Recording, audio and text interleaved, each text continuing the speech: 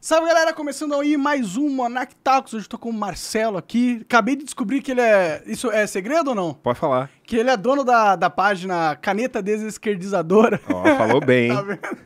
Trava a língua, mas foi bem. É, eu conheci essa página há um tempão, é antiga Sim, já, sim, né? Tem uns E- cinco anos. se faz, fe- foi presente bastante nas eleições e tudo mal. Eu gosto do, do tema, né? Porque acho que a gente tá precisando dar uma, uma desesquerdizada mesmo da população. Não só uma desesquerdizada, mas uma desoligarquizada, né? Um- Aham. uma glo- desglobalizada também na mente das É, no pessoas. fim, muitas vezes está ligado, né? Uma coisa na outra. Sim, Nem porque- sempre, mas muitas vezes sim. É, a- tipo, é porque hoje a esquerda que a gente vê não é mais es- esquerda né, da- dos fundamentos, dos princípios da esquerda. Como eles podem ser de esquerda e estarem ah, fazendo, apoiando as pautas e eh, trabalhando pelas narrativas dos bilionários mundiais, tá ligado? O cara é de esquerda e apoia a pauta do- da Rede Globo, né? De, Do de- Jorge Soros, do, do Rothschild Foundation, da Fundação Ford. É, eles apoiam esse tipo de, de pauta e são de esquerda? Como assim? Não faz sentido nenhum, né? É, não, a esquerda, ela tem vários níveis de esquerda hoje em dia. Então, aquela esquerda lá de trás, marxista, defensora de Stalin, isso aí é o cara old school. Hoje em dia é o New Left, né? Como a gente chama. É o Começou lá- identitário, né? É, o identitário woke, né, como assumiu hoje em dia, então Hum. mudou bastante a esquerda, continua sendo esquerda, mas tem essas contradições aí muitas vezes, né? É, é uma esquerda que apoia bilionários, né? Na verdade, vários bilionários apoiam a esquerda. Você falou do George Soros, do qual o Open Society é um grande exemplo, que na Sim. verdade, é até que a gente estava falando agora há pouco aqui, antes de ir pro ar, né? O cara, quando chega determinado número de dinheiro na conta, ele começa a apoiar a intervenção do Estado para evitar que mais gente chegue nele. Para reduzir a que- que concorrência. passou, né? Exatamente. Então, muitas vezes a esquerda é financiada por vários bilionários. Tem vários sites de esquerda que foram financiados por bilionários, criados por bilionários, né? O Intercept mesmo foi criado por um bilionário. Então, Ah, é? Sim. Quem, quem, que Era o cara do Yahoo, se eu não me engano. Entendi. É. Então também ele deu acho que 250 milhões de dólares para criar o Intercept. É pouco dinheiro, né? Dinheiro de pinga. Comparado pra eles, é, É. né? pra mim, Não é do 50 milhões É, de pois dólares é. muita coisa. Do eBay, do eBay. É o cara do Ah, eBay. é o Peter Thiel. Não, acho que não era. Não era o Peter Thiel? Mas Thiel eu sei que tá financiando o Rumble. né? Omar alguma coisa, se eu não me engano. Ah, tá. Então ele deu dinheiro para financiar o Intercept, criar o Intercept do zero. Então Aí o, deu pro Glenn, aí o Glenn acabou sendo demitido. né? É, Quando parou de exatamente. ser- Porque o cara começou a defender a liberdade de expressão, começou a defender algumas pautas que, como você acabou de falar, a esquerda hoje em dia ela tá meio ali. Tô uma hora depende quando. Eu defendo quando me interessa. Quando não me interessa, aí eu sou o primeiro a defender a censura. É, não, a esquerda hoje é o maior patrocinador. E o Glenn é um cara que é correto, né? De princípios. Ele é um. um- ele tem. Uma, inclusive, é, mandar um salve aí pro Glenn, que tá passando por um momento difícil Sim, agora. sim. é, Tipo, infelizmente. O marido o- dele o- faleceu é, hoje, né? morreu e, e tá muito tempo lá é, na, na UTI e tudo mais. Sim. Então, todas as forças pra ele, que ele possa se recuperar e tudo mais. Eu sei que é um momento difícil. Eu nem imagino o que ele tá passando agora, porque, pô, nunca aconteceu algo assim na minha vida, então. Deve ser muito difícil. Então, salve aí, força aí, Glenn. Mas, tirando esse papo meio triste, é, o Glenn foi demitido da. Que também é um pouco triste. Ele foi demitido do Intercept justamente pra você ver como.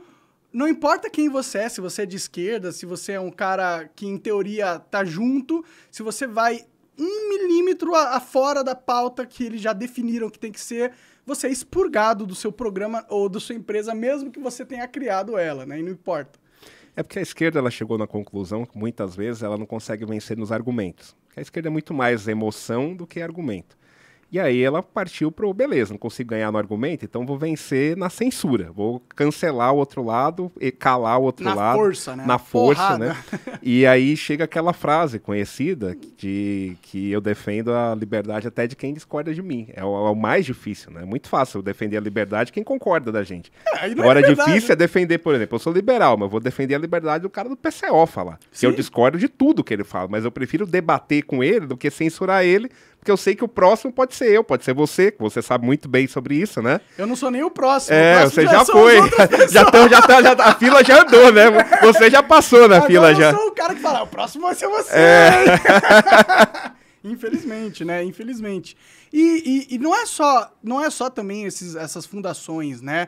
Tem todo um jogo na mídia que financia essa pauta, né? Não dá para ignorar que maior, as maiores empresas do mundo pertencem a esses grupos e eles têm bilhões e bilhões de, de, de orçamento em publicidade todos os anos. E através disso eles também controlam quem é o influenciador escolhido para representar a marca e normalmente é aquele que reza a cartilha, né? É, tá aí Felipe Neto mostrando, é o cara que tinha vídeo de 6, 7 anos atrás criticando a lei da Europa que vai regular as redes sociais, é um absurdo, e hoje tá lá, precisamos aprovar o PL das fake news para combater a desinformação. Mas o que, que aconteceu, Felipe Neto? O que, que mudou, né? Isso mudou, O que, que né? será, Isso né? mudou, eu não né? vou fazer a mesma coisa que eu levo o processinho, você tá acostumado, eu não tô muito ainda, mas é... Mas é verdade. Faz parte, é, a mas verdade é que- essa. que- que- É. Tipo, você, você vê, por que, que ele tá sendo chamado pra ONU, né? Sim. É, tipo, em teoria, não pra, pra mim. É Porque porque ele imita focas.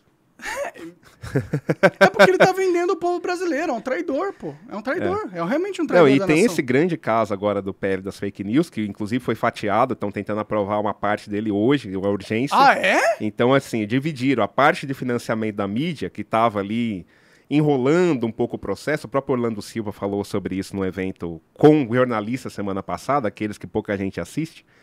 Falando, não, essa parte aqui de financiamento da mídia está atravessando um pouco o processo, tornando mais difícil a aprovação, então a gente vai tentar separar, colocar a aprovação dessa parte num outro projeto de lei e deixar o das fake news só com outra coisa, porque aí eu tiro Só com a censura. só com a Bom, O que censura. tá não é a Porque- parte do financiamento É, jornalista, exato. é a censura. Só que tá aí o cara consegue ter mais apoio da esquerda, que hoje o cara tá criticando o PL porque a Globo tá apoiando, e a Globo tá apoiando muito forte esse PL, um negócio ridículo, né? Matéria no Fantástico, falando dos grupos no Discord que estão, ah, estão combatendo, estão indo atrás das nossas crianças, não sei o que lá, um negócio assim, ridículo. Sim. Então vamos tirar essa parte, já tá andando hoje, inclusive, na Câmara isso, e deixar só a parte da censura pro PL das fake news, mas não pode chamar de censura que o careca não gosta. Porque ele censurou. É, tá censurada. É, não, é, é- é complicado. Mas eu fiquei muito contente de ver que houve uma reação popular, né?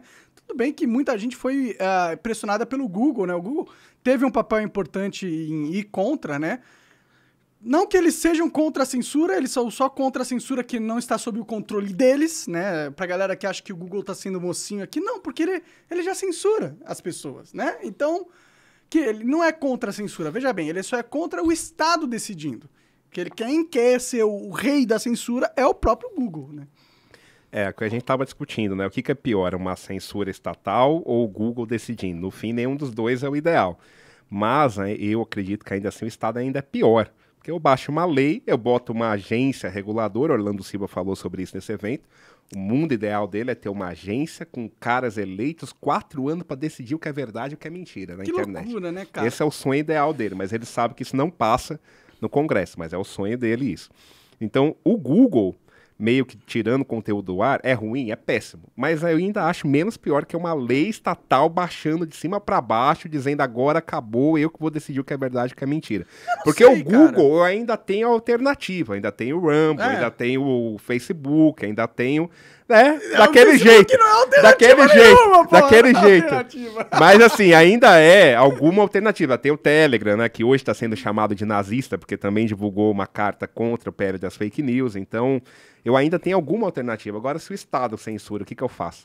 Aí não tem o que fazer, né? Mas muitas vezes a- o Estado, ele, a, a censura do Estado é ineficiente, né? Por exemplo, eles me baniram completamente, mas eu ainda tô aí na internet, tá ligado? Então, não sei, é, é meio que escolher como você quer morrer, queimado ou afogado, né? Acho que afogado dói menos, mas você vai morrer de qualquer jeito, tá É ligado? que o Estado, por definição, é ineficiente, felizmente, né? Então, tudo que ele se propõe a fazer, ele não é eficiente, como é a iniciativa privada, por um motivo simples. A iniciativa privada visa o lucro.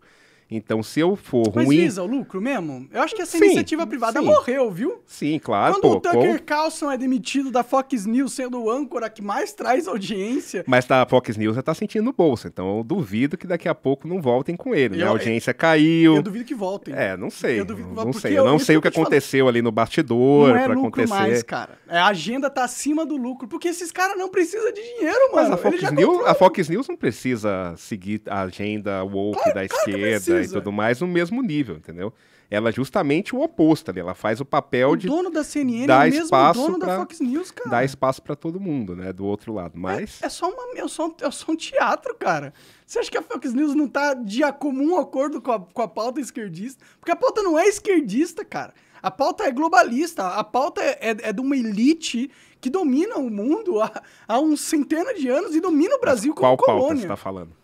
Cultura woke, ESG. No final é um transhumanismo e uma, uma sanha por dominação mundial. Os caras falam no, no Fórum Econômico Mundial, eles falam, eles não estão escondendo, tá ligado?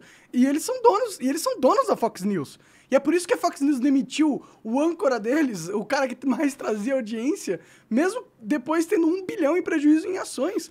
Porque eles não estão ali para ganhar dinheiro, eles estão ali para dominar o mundo, para implementar uma agenda de dominação mundial. Cidades de 15 minutos, já vou falar disso aí. Os caras querem controlar para onde você vai, o que você compra. Querem acabar com o dinheiro físico para você ter 100% do dinheiro centralizado na mão de poucos. É, mas para fazer tudo isso, você precisa do Estado, né? Ele não consegue fazer isso só como iniciativa privada. Ele precisa Sim. do Estado controlando, passando lei, regulando para definir o que as pessoas vão fazer. De fato, eu concordo com você. Inclusive, às vezes fazem essa confusão né, com o liberalismo. Não, que você defende a grande corporação, não sei o que lá. Não, defendo a livre concorrência, o livre mercado. Eventualmente, por exemplo, PL das fake news, eu estou ao lado do Google, do Meta, tô, porque eu ainda acho menos pior. Mas amanhã, se ele quiser passar o PL para que só Google e Facebook possam atuar no mercado, eu vou ser contra. Então não é a favor da corporação, é a favor de mais concorrência, mais livre mercado. Você seria a favor de uma PL que limita a capacidade do Google e censurar as pessoas? Como fazer isso? Ah, deve ter muitas formas. Pode perguntar pro chat GPT aí um, uma ideia de lei, ele vai dar pra gente. Eu tentaram pensar, o governo atual até pensou em fazer isso, obviamente, para censurar, né? Usando a, o código consumidor. Porque, de fato, tem lá os termos de uso, o cara te tira do ar e você não tem eh, oportunidade de dizer o que aconteceu, de apelar e tudo mais, e ele tentaria encaixar isso dentro do código consumidor, dizendo, olha, eu tenho direito de consumidor, eu tenho direito de saber o que aconteceu de fato para eu sair é, da rede social.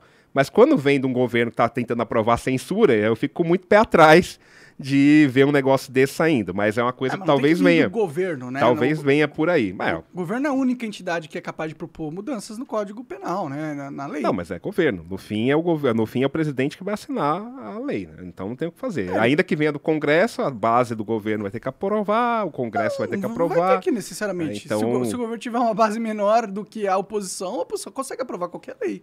Em teoria, não tô falando que esse é o caso agora. Né? É, não é tão simples, né? Você tem um centrão ali no, no Congresso, que na prática é que controla o Congresso desde sempre, e ele, ele evita grandes avanços liberais e também evita grandes avanços do outro lado. Então, ele meio que faz o fiel da balança ali agora. Estava né? até hoje de manhã com um evento com Nelson Jobim, que era ministro do STF, era, foi presidente do STF, né? Estava criticando, inclusive, o STF atual, porque falou: olha, na minha época, se tinha uma decisão lá do Congresso que eu não concordava, mas que eu achava que o Congresso decidia, eu dava lá o interna corporis. Então falou, ó, é o Congresso que decide, se vire. Hoje não. O cara pega a caneta, Alexandre de Moraes, fala, não, eu decido que é isso aqui, de ofício às vezes, é, né? não, nem né? foi provocado para isso, e fala, não, eu decido que é isso, acabou, e o Congresso não faz nada. É, o Senado que poderia fazer alguma coisa não tá nem aí, porque muitos ali de rabo preso, medo de ser preso pelo próprio STF. Não só isso. Então, é. e aí fica esse sistema, né, de que a gente tem até pior ainda do que o, do que o governo, que pelo menos ainda foi eleito, é ter um, um STF que não tem um voto. Não tem ninguém ali tem voto. Então, como que o cara pode falar, não, eu vou dizer aqui agora que eu vou mandar prender mil caras que estão na rua. Ainda que eu discorde dos meus caras, da pauta que eles estavam lá na rua, pô, você não pode mandar prender mil caras de ofício, que o cara tá na rua. Ah, porque eu discordo da pauta, ele defendeu um golpe, não sei o que lá. Sim, mas e o cara que tá na de esquerda, que tá na Paulista o tempo inteiro lá, revolução, não sei o que lá. Isso aí não é. Né? Mas aí é dois pesos e duas medidas, sempre. Ele é um ditador, né? O Alexandre de Moraes é o ditador do Brasil. Tipo, eu não falo isso de maneira leve, eu falo isso de maneira material e realística. Ele realmente é o ditador do país. Ele pode fazer o que ele quiser. E ele tem feito o que ele quer, mas ele tem ele, ele serve a uma estrutura de poder, que é essa estrutura globalista, que é dona do país, entendeu? Eles eles ele, o Itaú, sabe qual que é o nome do Itaú em Tupi-Guarani? Não. Pedra Preta. Sabe qual que é o nome da maior empresa do mundo que controla a Disney, Netflix? Lá vem o BlackRock. BlackRock. Por que você acha que é coincidência esse nome? Uh -uh. Não é coincidência. Claro que não. Existe essa conexão das famílias oligarcas brasileiras com essa oligarquia internacional? Você tem pedras pretas atrás de você, na parede aí, ó. É, não Olha aí, é ó. Tá preta, tudo né? conectado, hein? Tá tudo conectado, então hein? você acha que é, é, é, é, é o acaso? Não.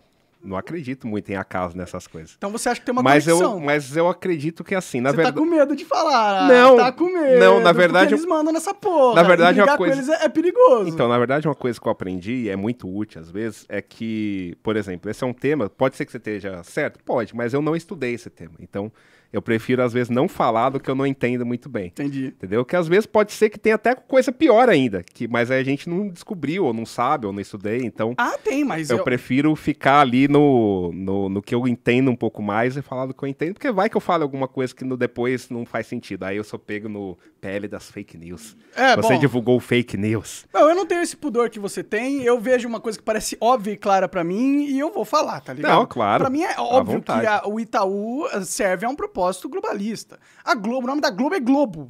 Inclusive, você sabe, tipo, os caras não escondem, mano. você sabe como foi banida a publicidade infantil no Brasil? Sabe que não tem desenho animado de manhã no Brasil mais? É, Hum. Se vocês estão assistindo, você também devia assistir, eu assistia, né? TV Globinho? Todo mundo tava aqui, assistia TV Globinho, assistia lá o SBT, Disney Crush, bababá. Por que que não tem mais? Não sei, realmente não sei. Porque há alguns anos atrás, um instituto, se eu não me engano, a ANIS, ele fez uma campanha dizendo que a propaganda está corrompendo as nossas crianças. E esse Instituto Anis, por coincidência, é financiado por uma das sócias do Itaú? Itaú, Hum. uma das herdeiras. Que financiou a campanha do Lula, É. inclusive. Pra E caralho. aí, esse instituto fez uma campanha enorme para banir a propaganda infantil da televisão aberta. E isso foi feito via resolução, não foi nem congresso, tem uma resolução do Conselho de Criança, Adolescente, algo assim, proibindo propaganda infantil. E aí, quando eu mato a propaganda infantil na manhã, eu mato o programa infantil, porque não tem mais como financiar. Faz sentido. E aí eu abro espaço para quê? Para o programa adulto, que quem que vai ser o patrocinador no intervalo? O Itaú. O Itaú. Então aí eu abro mais espaço para o Itaú patrocinar. Então veja como uma coisa é conectada com a outra, né? Puxando a- o que você falou aí. E veja como no fim das contas eu tô aqui, né, defendendo mais liberdade, liberalismo, que é justamente contra isso. Sim, é- eu acho que essa é a maior, a melhor arma do liberalismo, que é a, o fim dos monopólios, né? Porque um monopólio ele só existe através da atuação estatal para garanti-lo. Se não existe um garantidor estatal, o monopólio não se forma, né? Vai vir alguém e vai roubar uma fatia do mercado ali, porque alguém sempre consegue fazer algo melhor, né? Pelo menos em teoria. Mas o Estado hoje garante, garante esse jogo, essa máfia. E, e, e essa máfia comprou o Estado e transformou o país numa colônia. Será que a gente vai continuar sendo colônia para sempre? Ou existe uma chance do Brasil se tornar uma nação soberana e começar a realmente trabalhar em si próprio para mudar e alterar suas leis que a gente já sabe, a gente já sabe o que, que tem que fazer.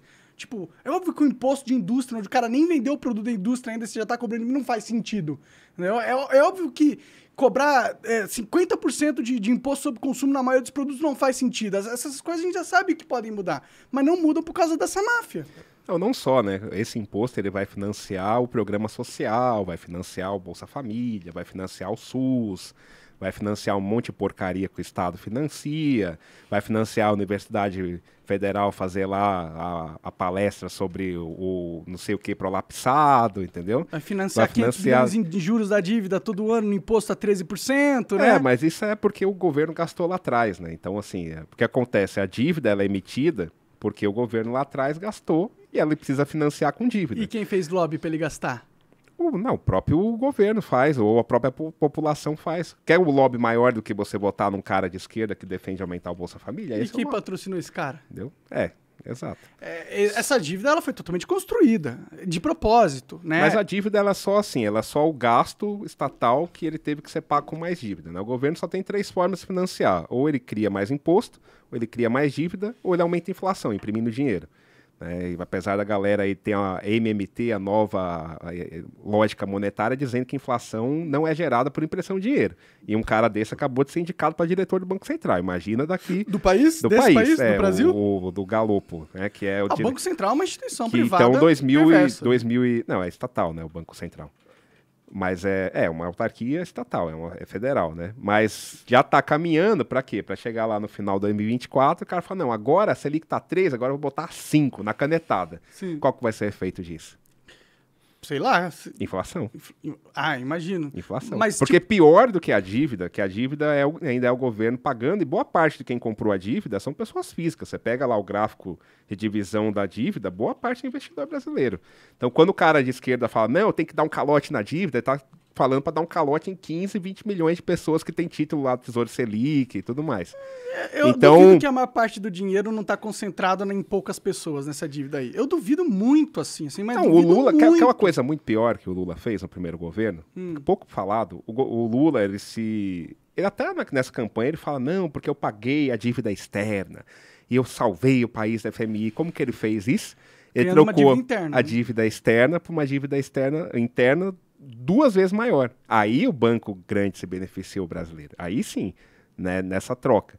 Agora, a dívida, é o, o único efeito que você pode fazer para reduzir a dívida é o governo gastar menos do que arrecada. Aí ele consegue pagar mais parte da dívida, que é o superávit que a gente chama, e aí ele consegue reduzir a dívida. Mas você concorda que esses juros a- a- a- gigantescos faz- fazem parte de um esquema de transferência de renda do mais pobre pro mais rico?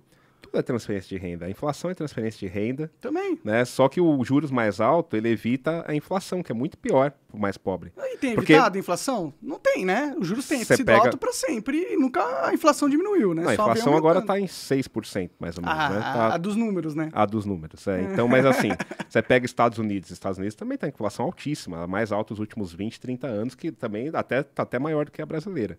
Mas por que, que a inflação brasileira está tão alta? O pessoal esquece que lá, governo Bolsonaro, no meio da pandemia, todo mundo fez campanha, Globo inclusive. Não, tem que gastar mesmo, vai distribuir dinheiro. Foi lá 800 bi de reais gastos em um ano. Pra, não, tem que financiar todo mundo que está em casa. Ué, efeito é a inflação. Esse é o efeito. Aí agora, no final do ano, foi aprovada a PEC da transição. Mais 215 bi de gastos. O efeito é a inflação. Não tem o que fazer. E aí o Banco Central sobe os juros para controlar a inflação. É isso. Eu não acredito nisso, cara. Pra ser sincero, eu não vejo ah, da- dessa forma, não, mano. E você vê como. Eu vejo que a, a esquema de- das dívidas do- dos países, de todos os países, é um esquema de transferência de renda planejado por essa oligarquia nacional para sugar as nações e para impedir o desenvolvimento brasileiro. Coisa que, que essa oligarquia sempre fez. Ah, mas até aí a dívida americana é trilionária. Então, inclusive, tendo que discutir de novo aumentar o limite da dívida dos Estados Unidos. Sim, mas eu não tô, eu não né? coloco A dívida é muito maior, inclusive, que a brasileira. A Mas- diferença é que os Estados Unidos, ele, a moeda dele é dólar e o mundo inteiro usa dólar. Então, eles exportam inflação para todo mundo. é uma o Brasil, grande diferença, o né? Brasil não tem essa opção, só que a China já está combatendo isso, né? Sim, mas eu não coloco essa oligarquia como americanos, entendeu? Eles não são americanos nem europeus, eles não têm países, eles inclusive são internacionalistas. Para eles essa noção de país é uma noção, é uma noção do passado e ultrapassada. Eles não querem mais que isso exista. Eles querem inclusive que exista um governo mundial no qual eles colocam seus burocratas e controlam o mundo de uma maneira muito mais centralizada e fácil. Esse é o plano, entendeu? Então quando você fala, ah, não, mas os Estados Unidos também tá com dívida. Sim, porque o jogo de fuder os países está acontecendo nos Estados Unidos também, não só no Agora, Brasil. agora veja o contrário, né? Tem exemplo prático nosso, não precisa nem ir muito longe, né? Governo Temer. O governo Temer, ele entrou, ele falou para todo mundo, não vou ser candidato à reeleição, então ele tinha apoio para aprovar as reformas, porque ninguém ia concorrer com ele depois. E ele aprovou, né? Avançou a reforma da Previdência, não aprovou por causa daquele escândalo lá da JBS, que foi a Globo que divulgou e depois viram que nem- não era isso, mas até aí acabou com a reforma ali. Né? A Globo matou a reforma, foi aprovada dois anos depois no governo Bolsonaro. Mas ele fez algumas reformas, reduziu o gasto, o efeito foi que os juros caiu. Tudo bem, tudo É bem. simples. Mas então, assim, se, o, se o governo reduz o gasto, é, o mercado financeiro, que são milhões de pessoas investindo, né, não existe aquela coisa, o mercado financeiro Faria Lima. Claro, tem muita gente a Faria Lima, mas tem milhões investindo na Bolsa. Não, mas você, né? você E aí tá o mercado financeiro, fazendo ele analogia, pô. Não, calma. Tá fazendo, tem milhões de pessoas investindo, ok, mas se for pegar o grosso do dinheiro, a maioria desse dinheiro pertence a poucas pessoas, pô. Tá, tem milhões de pessoas com 10 mil reais investindo em tesouro direto, mas tem 100 pessoas com 300, 800 bilhões Mas a lógica, a lógica econômica para todos é a mesma, Monark. Se o governo vai gastar menos, eu consigo enxergar que ele vai E você acha que é ele- que eu consigo enxergar que ele vai ter uma sobra de dinheiro para pagar a dívida, logo eu exijo menos juros. É isso, tanto que os juros caiu no Brasil. né? Chegou a 2% lá no governo Bolsonaro, que também não, o Brasil não tem estrutura para ter juros de 2%, porque o governo gasta muito. Mas chegou a 2%, tanto que agora disparou para 13% de novo, porque não era insustentável ter juros a 2%. Mas chegou a 2%. Mas né? é, é que, tipo, por exemplo, você fala da reforma, a reforma da Previdência, como se fosse algo muito bom. Não foi algo muito bom. A reforma da Previdência nada mais foi do que você pegar um Estado que sempre geriu muito mal o seu dinheiro e colocar as consequências disso na bunda do trabalhador. É que não tem o que fazer, Monarca. A Previdência é uma Tem o que pirâmide. fazer. Previdência é uma pirâmide, já começa por aí. Então por que né? que eles não aprovaram a capitali- a capitalização? Porque é extremamente impopular. Vai, vai explicar que pro que brasileiro. Vai para explicar pro brasileiro que agora ele tem que. Eu, eu sou a favor da capitalização, do regime de capitalização, que é o quê? O cara vai financiar a própria aposentadoria. Que é o correto. O problema é, e o passivo de 5 trilhões de reais da Previdência que está lá e tem que pagar nos próximos anos? Vai voltar para a mesma história. Ou o governo aumenta imposto, ou aumenta a Mas inflação, mudou ou isso. aumenta Porque juros. se enquanto você não mudou a lógica da, da Previdência, você vai. Você só postergou o problema. E vai continuar postergando, que é isso Daqui que vai, vai passar. ter que ter uma nova Isso, reforma da Previdência. Exatamente. E como que isso é bom, cara? Isso Não é, uma é, é merda. ruim, mas não Uma- tem o que uma fazer. reforma de merda, Falando porra. na prática, não tem o que fazer. Ou daqui Não a pouco, fazer porque daqui a pouco vai ter, Estado, caralho. daqui a pouco vai ter, o cara para se aposentar vai ter que ter 70 anos. Porque é isso, é uma pirâmide, é insustentável. E você acha que isso é sem querer? Não, eu acho que eu, eu concordo com você, é uma merda. Isso a é Previdência planejado. brasileira é uma bosta, é uma, é Como os juros é pirâmide. planejado. E a Mas- dívida foi planejada. Esse é o jogo, pô. É, é assim que eles colocaram, nos colocaram num, num patamar de colônia, acabando com toda a nossa estrutura financeira, que é o, que é o ambiente que eles dominam no mundo. Quem que A controla gente, é os co- bancos? a gente é colônia, antes de tudo, de Brasília, né? Tem aquela frase que todo mundo lembra lá na época, principalmente Tiradentes, como foi mês passado, que antes a gente pagava 20% de impostos para Portugal e teve uma revolta por causa disso, a gente paga... Quinto dos infernos. É, o quinto dos infernos, hoje a gente paga quase 40 para Brasília. É, e uma coisa puxa a outra. Ah, a dívida é alta. A dívida é alta porque o governo gasta muito, o governo gasta muito, inclusive o atual, porque ele foi eleito e tem apoio para gastar muito. Bolsonaro, que era o cara de direita, teve todo apoio para gastar 800 bi na época da pandemia. Isso tem um efeito. Então, assim, não é que o juros saiu do nada. É porque o cara gastou demais lá atrás, como o Brasil gasta muito desde sempre. Mano, é isso que eu tô falando. Por que, que ele gasta muito? Entende- Entendeu, entendeu o que eu tô falando? Eu entendo que existe um processo técnico Porque pra tem apoio popular, Monarca. ali. Resumo é isso. Mas- o político vive de voto. E Se o povo quer popular? gastar mais dinheiro, ele vai apoiar gastar mais dinheiro. Não, é não é o povo. Era a Globo fazer uma campanha de mídia pra fazer manipulação na mente das pessoas e vi- eh, viabilizar esses movimentos políticos. Eles sempre controlaram a política através da mídia, entendeu? Não é o povo, pô. O povo é vítima dessa parada. O povo é mantido na ignorância através de uma péssima estrutura educacional. O povo não tem saneamento. Culpar o povo é uma injustiça tão grande, mano. Quando na verdade você tem pessoas que são eh, lords do mundo há centenas de anos, com uma estrutura trilionária, com inteligência artificial, com dono de várias empresas em vários mercados diferentes. Como que é culpa do povo? A gente tá sendo estru... a gente tá sendo esmagado por esses caras, entendeu? Por isso que eu falo que, que essa dívida não é sem querer, ela foi planejada. Não foi o povo que quis. O povo tá se fudendo, pô. Isso aí foi tudo coordenado por um grupo político muito poderoso que financiou campanhas de políticos há centenas de anos, financiou a mídia há centenas de anos e coordenou essa máquina de narrativas para que a gente passasse essas, essas leis que ultimamente colocariam o Brasil num estado de colônia. Então, como É, que a gente assim, pode no- culpar o povo nisso? Não, eu, obviamente, obviamente eu concordo que a mídia influencia muito. Tanto tem a página basicamente para criticar a mídia, né? Mas Isso é possível com a internet. É, só é impossível Que não com a existia internet, antes. Que não existia antes. Mas até aí também é tecnologia. É as grandes aqui que a gente está criticando, querendo ou não, foram elas que viabilizaram, né?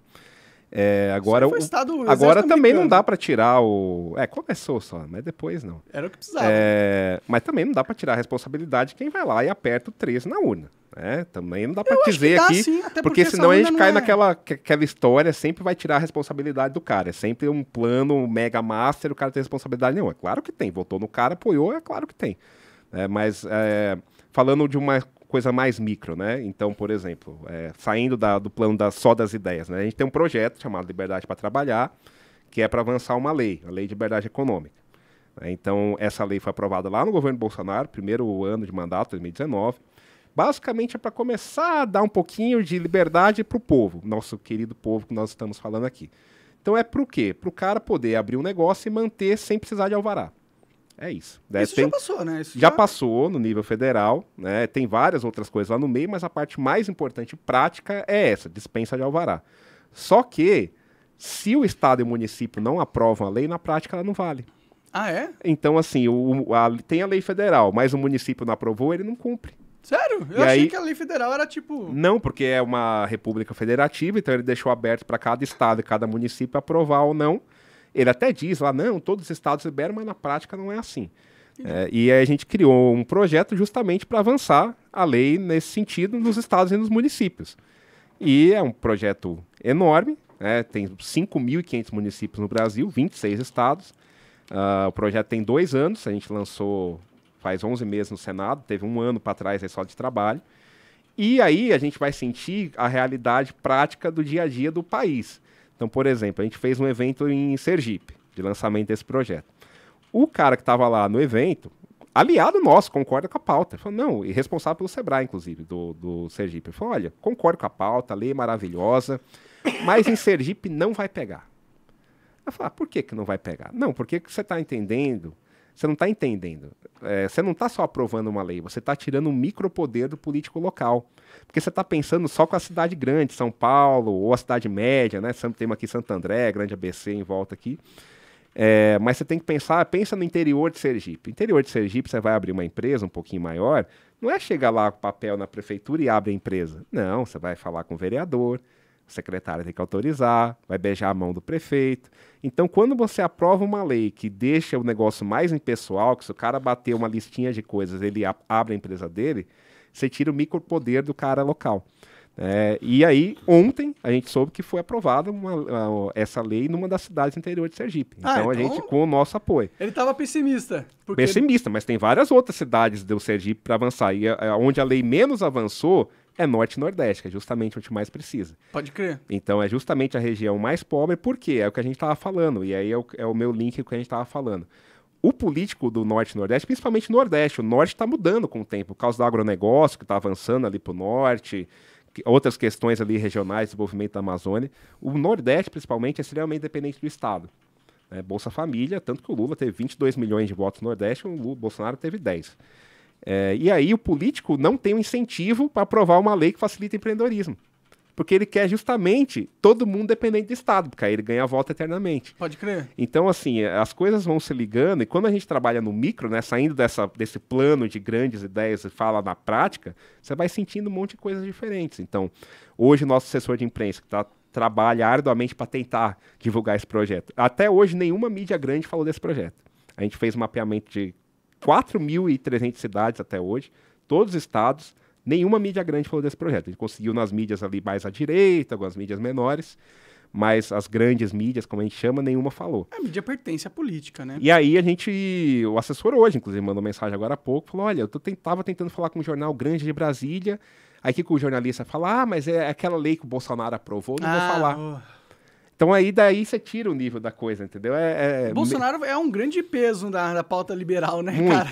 Muito. Não, e assim, eu não tenho, eu não tenho problema nenhum de não, assumir que não. o primeiro ano dele foi muito bom. Foi quando foi aprovada essa lei, foi aprovada a reforma da Previdência, muito bom. Aí chegaram nos Chegou dele, na né? pandemia, aí, é, aí chegaram nos filhos dele. Não, veja bem, porque não pode investigar o STF lá, o Flavinho, né? Ah, pô, tá de brincadeira. Foi a grande chance do país de ter uma CPI para investigar o STF. E jogou fora. É, e foi jogada fora porque um cara, para salvar um cara, eu não, tô... e era rachadinha. Ele ia ficar preso que dois anos? Nem ia, né? Nem é tanto crime assim. Ia, ia bater lá na delegacia, tomar um café e ir pra casa. É, deixa, Filho do deixa. presidente, você acha que ia ficar preso? Colocou a, né? a, família na frente do país, né? Então, assim, saindo desse grande plano de ideias e indo pro micro, a gente vai sentindo que tem muitas resistências que às vezes nem é o grande mega black rocker, o cara nem sabe o que é isso. Assim. Às vezes é o político local mesmo, que o cara não quer perder um poderzinho ali, Teve o caso, por exemplo, a cidade, a maior cidade do país hoje que não aprovou até hoje, Belo Horizonte. Tá a gente está ajudando eles tentando aprovar agora, né? Até falei com as vereadoras lá, mandar um abraço para ela, a Marcela e a Fernanda.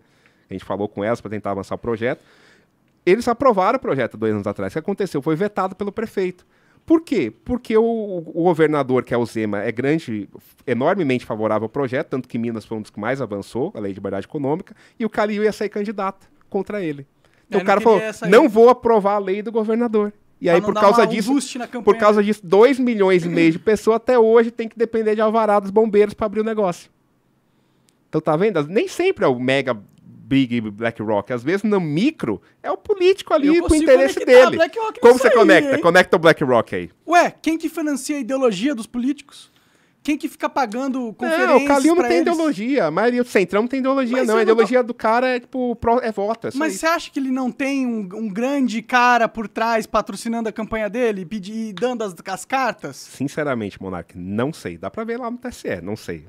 Talvez claro tenha. Tem, Talvez cara. tenha. Todo político tem, Talvez tenha. Vamos vivendo na Disney, porra. A gente é. vamos, vamos entrar entrar um pouquinho É, no mundo talvez real tenha, das mas coisas, enfim, vai. mas a, a- a Tem, realidade. Não é, talvez tem. Tem. a Todo realidade- político tem alguém grande financiando por trás, real- senão não vira político. Senão não ganha, pô. Senão não se mantém. A- a- o sistema é todo corrompido, pô. O sistema é todo. É um jogo totalmente de cartas marcadas. Não tem essa espontaneidade, essa naturalidade. A BlackRock tá em tudo. Cara, pensa, são 10. Inclusive na sua parede.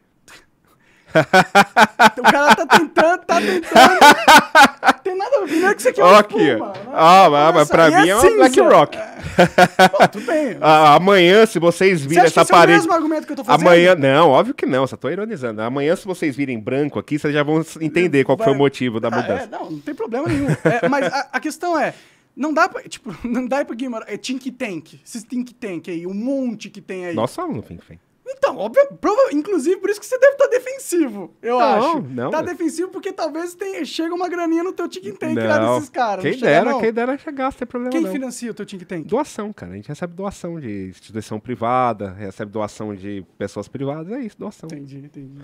Mas assim, mesmo pela tua lógica, se fosse pela sua lógica, fosse financiado pelo Black, BlackRock, eu estaria concordando com as pautas aí que você falou que são ruins, né? E eu tô discordando de todas elas. Então, seria uma bem, coisa isso é bem. um indício. Seria uma Isso é um coisa bem indício. imbecil o cara me financiar. né? Então, por exemplo, um Jorge Soros, tem pauta lá que o cara defende, ah, democracia, bababá. Né, um cara liberal eventualmente pode cair numa dessa e defender essa pauta. Só que eu sei que vem todo um pacote junto de coisas que eu discordo. Eu nunca vou buscar o dinheiro desse cara. Entendeu? Então, não, maravilha. Não, eu então nem tô é realmente dizendo que você é tal, mas... Não, mas é válido. Só brinca, já que você questionamento. ironizou, é válido, é válido, claro, é válido. Mas, tipo, a, a, questão... Mas os caras perguntam pra gente, por exemplo, a gente falou com a junta comercial de Roraima, semana passada. O cara perguntou, mas o que, que vocês estão ganhando com isso? Porque eu tô aqui na política, o que vocês estão ganhando com isso? Não, cara, a gente tem um projeto, projeto vive de doação. Quanto mais eu avançar o projeto, mais doação eu ganho. É só isso. Pô, não tem um grande político atrás de mim, não tem a BlackRock atrás de mim, não tem, cara. Eu não sou contra que tenha algum grande bilionário atrás de você, entendeu? Por exemplo, no Rumble, que é a empresa que hoje Canadense, né? Aliás, é um bilionário, não é? É um bilionário. Não. Peter Thiel é, é um dos, um dos dos financiadores financiadores. do Rumble. É um bilionário. Então, eu não, tô, eu não sou contra ah, receber dinheiro do exterior. E é uma empresa americana, não é brasileira, entendeu? Então, a lógica que eu tô usando aqui pode ser voltada contra mim também nesse sentido, entendeu? Mas a, a, a questão é, eu não sou contra bilionários ou think tanks que são patrocinados para garantir a liberdade para combater esse movimento globalista, porque eu sei que existem, entendeu?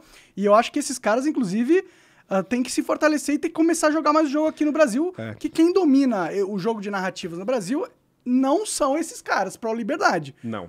São os nenhum. caras- Nós somos minoritários. A gente até brinca que é, lá atrás, até antes do Bolsonaro, a gente brincava que é, a política é tipo um campeonato brasileiro. E a gente estava na série C do Campeonato Brasileiro. Ninguém falava da gente. A gente subiu para a série B, subimos para a série A, só que a gente fica ali, né, na zona do rebaixamento. A gente não tá ali na grande mídia todo dia divulgando ideia liberal. A grande mídia dá zero apoio para isso. É, e a gente tem trabalhado, tem avançado no sentido de fazer algo assim, fazer uma coisa maior, né, de ação mesmo. Esse projeto é o primeiro né, da Lei de Liberdade Econômica, e vai ter outras coisas dentro dessa pauta, por exemplo, regulação de aplicativo. Mesma história. Se vier um projeto do Uber e do iFood dizendo, não, vou controlar aqui o mercado para só eu atuar, eu sou contra. Agora, se vier um projeto do governo dizendo, vamos regular, botar todo mundo na CLT para matar o aplicativo, aí eu sou contra o projeto do governo. Então, em algum momento eu vou estar a favor, junto com o Uber e 99 e iFood, enfim, e em outros momentos eu vou estar contra. Então, vira uma questão assim, é, se vai uma pauta pró- mais pró-liberdade ou menos pró-liberdade. E a gente tem avançado nesse sentido. Então, pro- provavelmente agora a gente deve ter um projeto de educação, mesma lógica. Pô, por que, que educação? Porque para abrir uma escola é uma burocracia do cacete.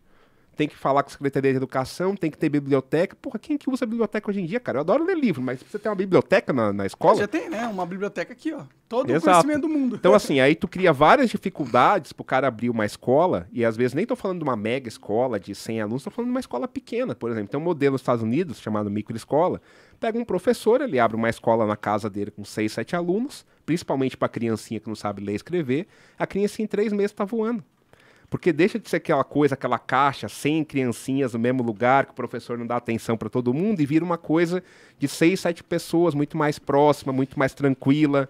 Né? A criança, às vezes, a criança está mais avançada, ela vai ajudar a que está mais para trás, e aí todas vão evoluindo. Então é esse tipo de coisa que o liberalismo defende. Descentralização. O cara, o, o cara que mais. Descentralização. Descentralização. Né? É é- exatamente o oposto da pauta globalista. Com certeza. Então, pauta- assim, se você, como você bem falou, o cara globalista defende o governo único, centralizado, defende descentralizar. O que, que você acha então do Banco Central? Eu acho que não deveria existir. Maravilha. Beleza, realmente não é um globalista, então. Não é. Agora, agora para chegar nesse processo, vai uma série de fases. Então, o que você estava falando, olha que coincidência, você estava falando de juros. Uma das fases para o Banco Central deixar de existir é o governo deixar de controlar os juros. Só que aí os juros, pode ser que o Lula fala uma besteira e os juros dis- dispara para 20%. E aí você não vai poder criticar. Seria um juro descentralizado, né? Descentralizado. Se ele disparar Porque é o que acontece com 20% câmbio. É porque não vale a pena emprestar Exato. dinheiro. É porque acontece com o câmbio. O câmbio já foi controlado no Brasil no passado, né? E aí não conseguiu controlar mais porque você precisa ter um nível de reserva em dólares para controlar o câmbio. Você precisa ficar comprando e vendendo ali todo dia para manter o mesmo preço. E chegou uma hora que ficou insustentável.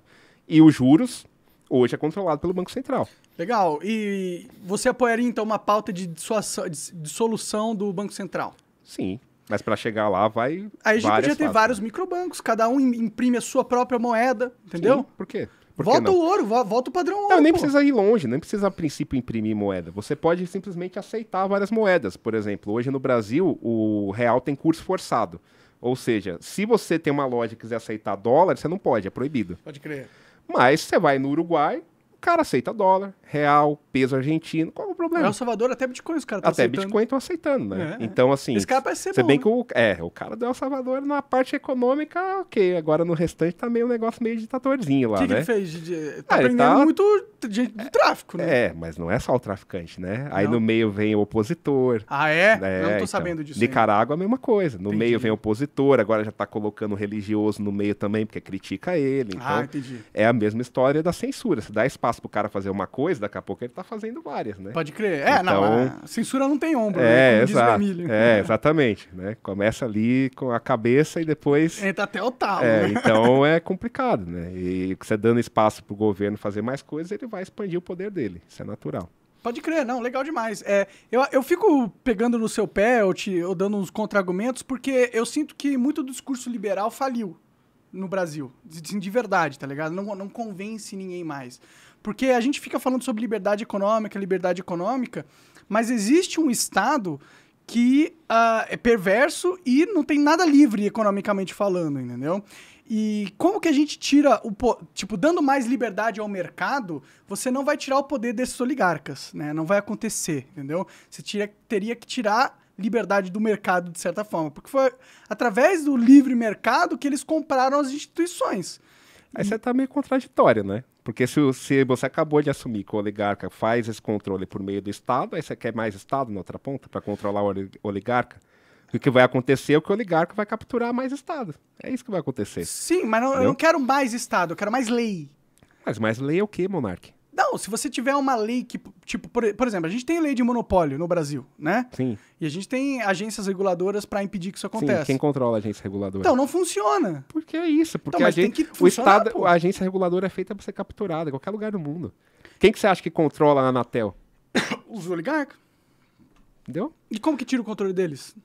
Descentralizando o mercado. Destruindo a Quer um Anatel? exemplo? Exemplo na Anatel mesmo. Né? Da, para você montar uma empresa de telecomunicações no Brasil, você não precisa de alguns milhões, você precisa de bilhão para comprar a, or- a outorga numa determinada região. Entendi. Quem consegue competir? Só Ninguém. os oligarcas. Só os oligarcas. Então, no fim, a tua pauta de antiglobalismo, anti-oligarca e tudo mais, no fim, o oposto dela é o liberalismo. É, um- é o livre mercado. Se você acha que uma lei vai resolver, não vai. O que vai acontecer é que o oligarca tem muito dinheiro para fazer lobby, vai bater lá em Brasília e falar, ó, deixa eu aproveitar para controlar mais uma coisa aqui. É isso que vai acontecer. Agora, quer um exemplo? É, tem uma palestra muito boa, né? Mandar até um abraço lá pro Cabreira, que foi ministro da Agricultura do Brasil. O Brasil tinha controle na agricultura. No começo, ele foi ministro na época do Collor. né? O Collor teve, apesar da grande cagada lá do controle das poupanças, que inclusive afetou meus pais, né? Ele fez uma parte boa no outro lado, que foi a abertura de alguns mercados. O Brasil tinha um instituto para controlar o café, para definir quanto cada um podia produzir, quanto podia exportar. Coreia Hoje do é- Norte total. Coreia do Norte total. Hoje é isso impensável. né? Mais ou menos, que eu vi ali um juiz mandando um. uma decisão judicial para decidir quanto o cara colhia a safra dele ou não. Exato. Então tá- isso é tá controle acontecendo. estatal. Então quando você descentralizou, ah, mas tem o cara grande, tem lá a Bung, tem grandes. Claro, tem grandes agronegócios, mas tem o pequeno também. Descentralizar é permitir que o pequeno, porque o grande ele quer mais controle estatal, ele quer mais lei. Porque aí ele controla mais fácil. O pequeno não consegue chegar lá em Brasília e falar, ah, me ajuda aqui.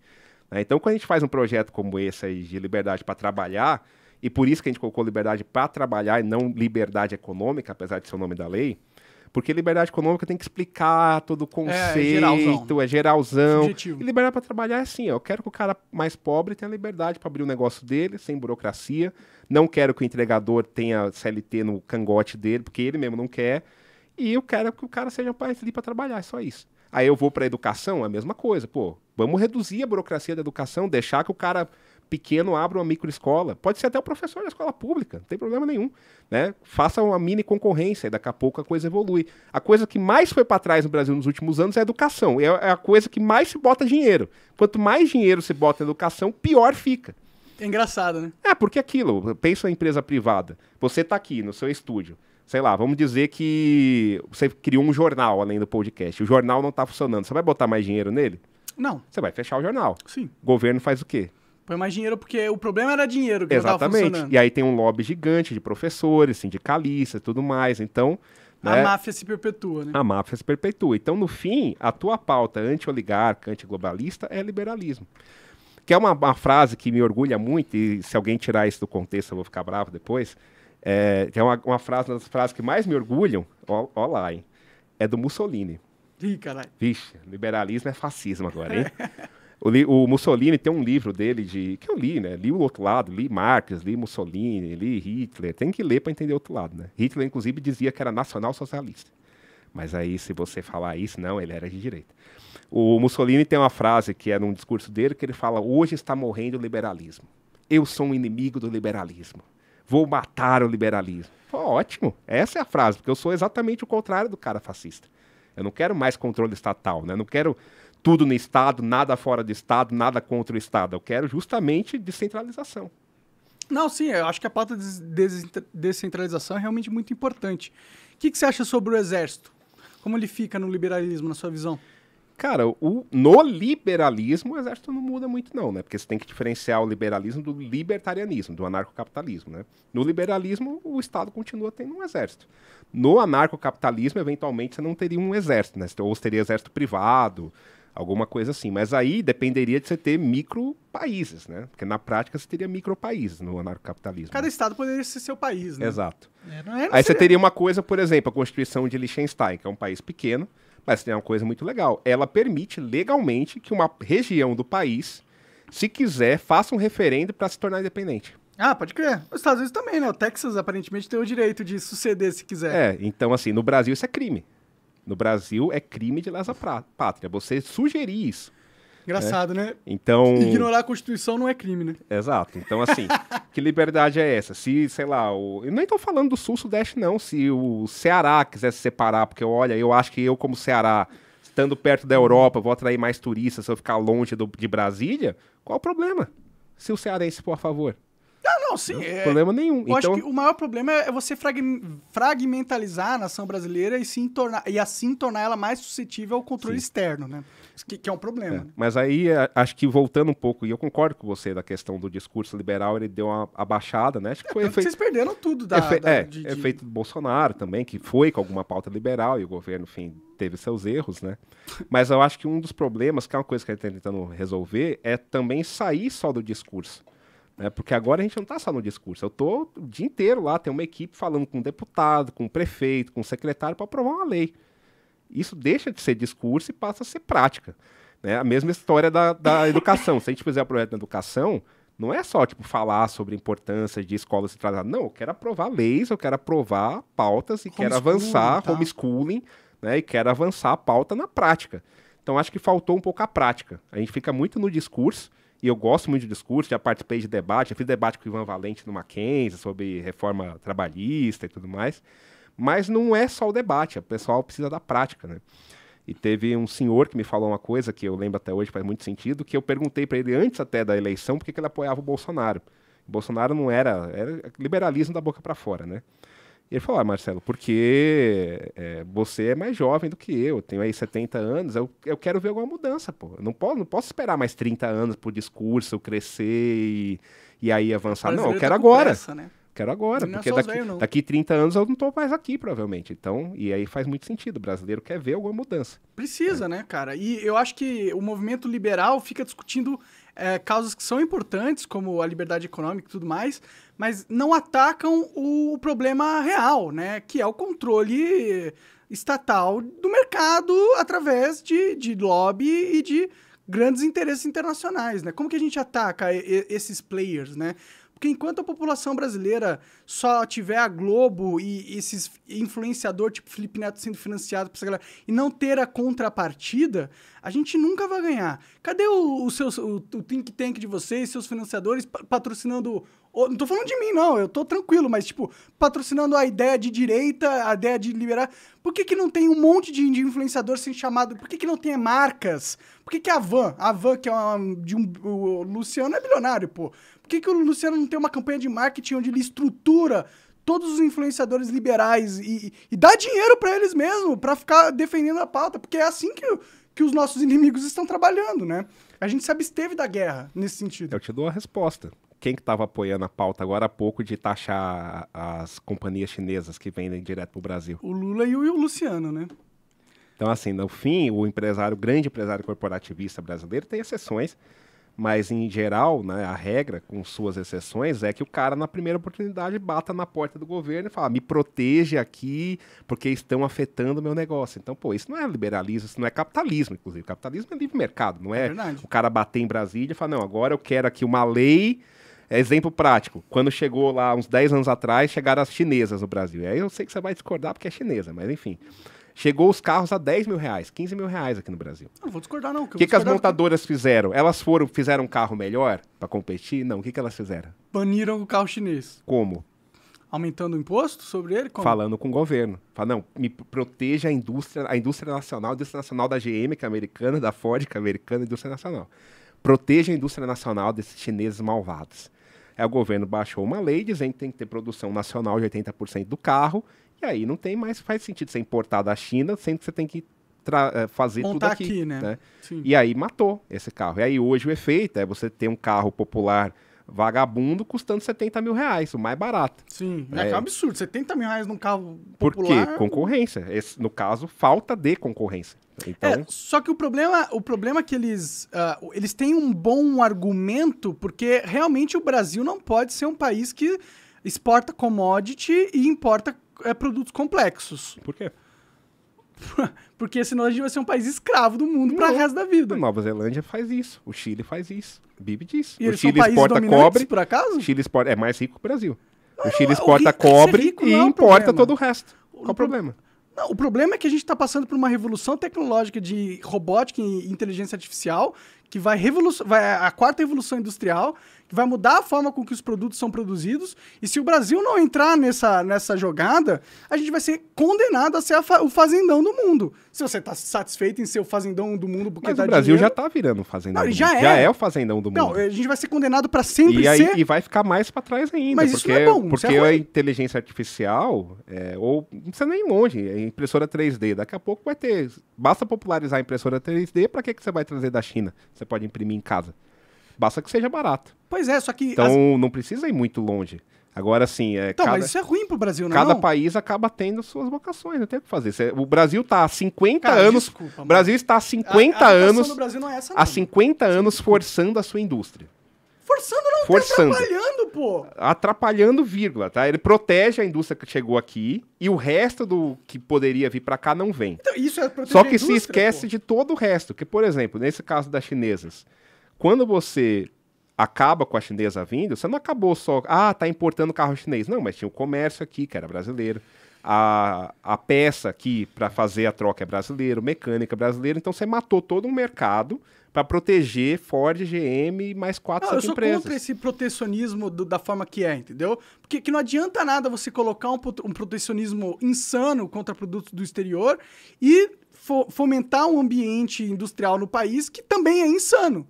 Porque você não vai resolver o problema, entendeu? Você, se você quer é, proteger a indústria, você tinha que tirar o dedo da cara da indústria, pô. Que é o que, que mantém a indústria sem Só sem que a indústria é a primeira a pedir mais proteção. Quer um, quer um Mas exemplo? não é a indústria, é- são os oligarcas, pô. Não é a indústria. Quem que vai bater lá em Brasília Eles para pedir a proteção? É a indústria, Fiesp. Eles, eles estão a É a indústria. Fiesp. A Fiesp vai lá bater em Brasília jogo, e pedir exato, proteção. mas isso não é horrível? É horrível, eu discordo disso. Então, por isso, o Brasil não pode ser um, uma, um fazendão, cara. Eu discordo plenamente. Mas É- ninguém, quem é a tem que decidir vocação. o que o Brasil tem que fazer? O brasileiro, caralho. Então, então não é o governo. Se o brasileiro decidir que o que funciona é a agricultura. Mas não é, o brasileiro não tá decidindo isso. É a única coisa que é permitido a gente fazer, pô. Porque tem um monte de burocracia que impede o Brasil. Você mesmo tá lutando Mas, pra o, mas a, a indústria é a primeira a defender a burocracia. Esse é o ponto. Mas não então, é aí, a indústria, mano. E aí o que, que se fala? Porque você falou, não, porque aí Quem vai. é essa indústria? Quem são? Quem é a indústria? É o que você tá falando, o grande Não, oligarca, é o grande indú- oligarca lá então na Fiesp que vai bater na, na- em Chama de Brasília e defender proteção. Quer um exemplo prático? Ah, No Brasil é crime, crime. Você vai preso se você importar um carro usado. Na verdade, qualquer coisa usada, sem au- autorização estatal. Por quê? Por quê? Porque se eu quiser importar um carro usado do Paraguai por 20 rea- mil reais, por que, eu não posso? como que você fala que nossa no- no- é, vocação natural é ser um fazendão, então, cara? Se a gente sabe Não, que tem Brasil um monte de coisas pra isso. artificiais. Não, a minha Ele foi solução. empurrado a isso, colonizado, pô. Ele foi colonizado, o Brasil foi colonizado por esses caras. É um jogo perverso de centenas de anos. Não é nossa vocação natural. A gente tá sendo colocado como escravo, Qual pô. é a nossa vocação natural? De ser um dos maiores países do mundo, maior que a China. Olha o tanto de, de recurso natural que a gente tem sobre nossa terra. Tanto de nióbio, ouro, Sim, platina. mas isso é commodity. é Tu tá caindo na mesma potássio. coisa. Tu tá falando do agro, mas tá falando de commodity. É a Mas mesma eu coisa. tô falando pra gente pegar essas commodities e transformar em produto de valor agregado e exportar pro mundo, pô. A gente não depende do mundo pra criar as, pro- vo- Quem é, produto importa de boa valor parte agre- das, agregado. das commodities do Brasil? Quem importa? É. A China. A China.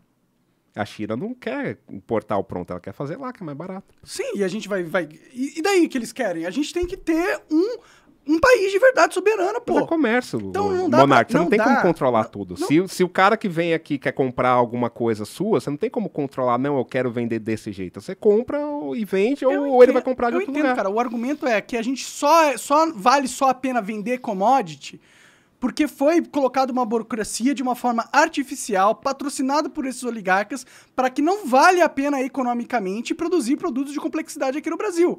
Porque se você tirar a burocracia, se você tirar, tirar o dedo do Estado, da- do, do pescoço do brasileiro, a gente tem vocação natural de ser um dos maiores países tecnológicos do mundo, porque a gente não depende de nenhum país para ter a matéria-prima para o desenvolvimento tecnológico. Esse, esse é o meu argumento, entendeu? Então é um erro falar que a nossa vocação natural é ser um fazendão. Isso, aí- isso aí é a, é a nossa condição imposta pelo sistema global político. E a gente tem É, que aí vencer A gente isso, tá pô. falando da poss... É, eu concordo, tem que desburocratizar mesmo, liberar a indústria e tudo mais, mas aí a gente tá cá entrando no campo da possibilidade, né? O que tem hoje é um terço do PIB do país é agro. É o que tem hoje. Né? Pode ser que se desburocratizar mude, torce para que mude. A minha ideia é que o país avance. Ah, o cara quer montar uma pequena indústria na Diadema, por exemplo, que está aqui perto, que é um exemplo que, eu- que eu, me falaram, o cara tá um ano para conseguir um alvará, não consegue. Para montar é. a indústria pequena. Então, exatamente. é isso. Eu é sou isso. totalmente fora. Agora, dizer qual será a vocação, aí é futurologia também. Eu tô falando, hoje o Brasil vive de agro e commodity. Mas, bicho, a gente tem que fazer futurologia, entendeu? Porque quem tá fazendo futurologia são os caras, mano. Eles estão decidindo o nosso futuro. E tá na hora da gente começar a decidir o nosso futuro. Parar de aceitar que a gente é um fazendão ou ter esse mindset colonial aqui no Brasil, pô. Não Mas dá veja- mais veja, pra gente. Monark, não quando- dá mais, cara. Eu não quando- aceito mais isso. Quando você descentraliza, não existe nós decidindo. Existe cada pessoa fazendo uma coisa que ela acredita que vai ser melhor para ela e aí o país avança. Então, quando eu descentralizo, vamos dizer que boa parte dessas barreiras industriais caíram. Metade das indústrias iam fechar, não tem a menor dúvida. E, E aí ia ter protesto, ia ter. Eu tô pensando do lado re- real da coisa. Ia ter protesto, bababá, volta, proteção, bababá. Porque o que se vê é bastear, né? O que se vê é o cara fechando. O que não se vê é um monte de setores novos que iam surgir. Então o Brasil não Então, tem exatamente. esse espaço. E então, a- assim, aí você vai falar. é, ah, então nós temos que pensar. Porque no momento que você fala nós, você tá enfiando o governo no meio. Porque, assim, se descentralizar, o cara do Mato Grosso vai discordar de você que eu tenho que pensar em indústria. Não, eu vou continuar fazendo o meu. O cara de Diadema vai, não, concorda, é isso aí, vou fazer a indústria. E no fim, a gente vai ver lá na frente o que acontece. Agora, com certeza, ficaria muito país, país muito melhor do que a situação que a gente tem hoje. Isso. É, Agora, não gente... tem como pensar, nós vamos decidir, porque aí fica aparecendo aquela coisa, nós, Brasília, temos um plano. Como o Brasil faz nos últimos 30, 40 anos, né? Nós temos um plano de Mas não desenvolvimento. existe o nós, não existe o país. Existe o governo. Não existe o governo. Mas não, eu tô falando meio, que a país- solução não é o governo. O governo não é a solução porque ultimamente ele está sendo usado para nos, nos fuder. Não tem como a gente vencer sem tirar essa peça fodedora que é um governo mal gerido. Existe a possibilidade sim de um governo ser bom. Entendeu? A- a Como gente- o governo pode ser bom? se, se ele realmente for representativo, por exemplo, a democracia direta. Né? Hoje a gente tem o celular. Por que, que a gente precisa eleger um representante para estar lá na Câmara? Quando nós mesmos poderíamos olhar qualquer lei e escolher. E se a gente não tiver tempo para ver todas as leis, a gente pode sim selecionar um Você representante. acabou de falar que a maioria do país é analfabeta, Monark. E é mesmo. Como que o cara vai decidir se a lei é boa ou não? Ele não sabe nem ler direito, não sabe entender a lei. Mas é, já é assim, a democracia já não é isso, caralho. É, mas aí tá querendo mais disso. Sim, sim, é porque Porque sabe que, qual que é a maior democracia de todas? Quando a gente elege vários representantes, eles são cooptados. Se você, se não é descentralização que Sim, você é a favor, com você. vamos descentralizar o poder do Sim, voto, mas a pô. descentralizar não é, tipo, o poder do voto só. O maior descentralização é não precisar ter o cara decidindo, é o livre mercado. Essa é a verdadeira democracia. Ah, Eu isso é não um tenho sonho, cara lá, é um sonho, claro que é um sonho, mas tô Então te vamos falando, como a democracia direta também é um sonho. Você acha que o Por cara que de é um Brasília vai falar, não, agora todo mundo vai votar em cada lei? Não, claro que não vai. Não, tudo bem, mas a, a gente, se a gente pressionar eles, já passou a democracia. De... Você quer alguma coisa? Quero. O que, que você quer? Dá uma coca. Valeu. Olha, imperialista americana. Se você, se, se você, se a gente consegue sim passar leis e mudar as coisas, porque senão é um pensamento muito derrotista, cara. De achar que não, não podemos mexer. Você tá tentando Eu mexer no concordo. Estado. mas- Você tá tentando. Mas é você coisa tá tentando pequena, mudar. Monark. Existe uma E coisa. você tá contente com o pequenininho? Você tá não, contente? sim, mas a- o problema é, às vezes, e é um problema de muitos liberais, a gente foca no grande, no macro, e às vezes o macro demora décadas para andar. E o micro fica de lado. Essa lei, essa questão da lei de liberdade econômica, ninguém estava fazendo. O próprio governo que aprovou a lei cagou depois para a lei. Ficou lá, alguns estados avançaram, Minas avançou porque o Zema bat- bateu do peito e falou, vou avançar. Rio Grande do Sul avançou porque o governador apoiou e tem uma, uma mulher muito boa lá na junta comercial, que é a Laura, que voa nessa área, mas são pessoas avançando na pauta. Então a gente às vezes fala muito, e eu gosto muito de discutir a questão, né, qual é o grande a ideia, como tudo será no futuro, e esquece do micro agora. Então é o que a gente tem feito nessa mudança de lei, é o micro. E funciona o micro. E eu posso concordar que, olha, vamos dizer que eu concordasse, não, tem que ter democracia direta e tudo mais por celular. Pode ser que eu concordasse. Só que para chegar nisso, existem milhares de micro mudanças para chegar lá na frente, entendeu? Então a gente às vezes fica falando do grande lá na frente e esquece no micro agora. E a esquerda é muito boa no micro.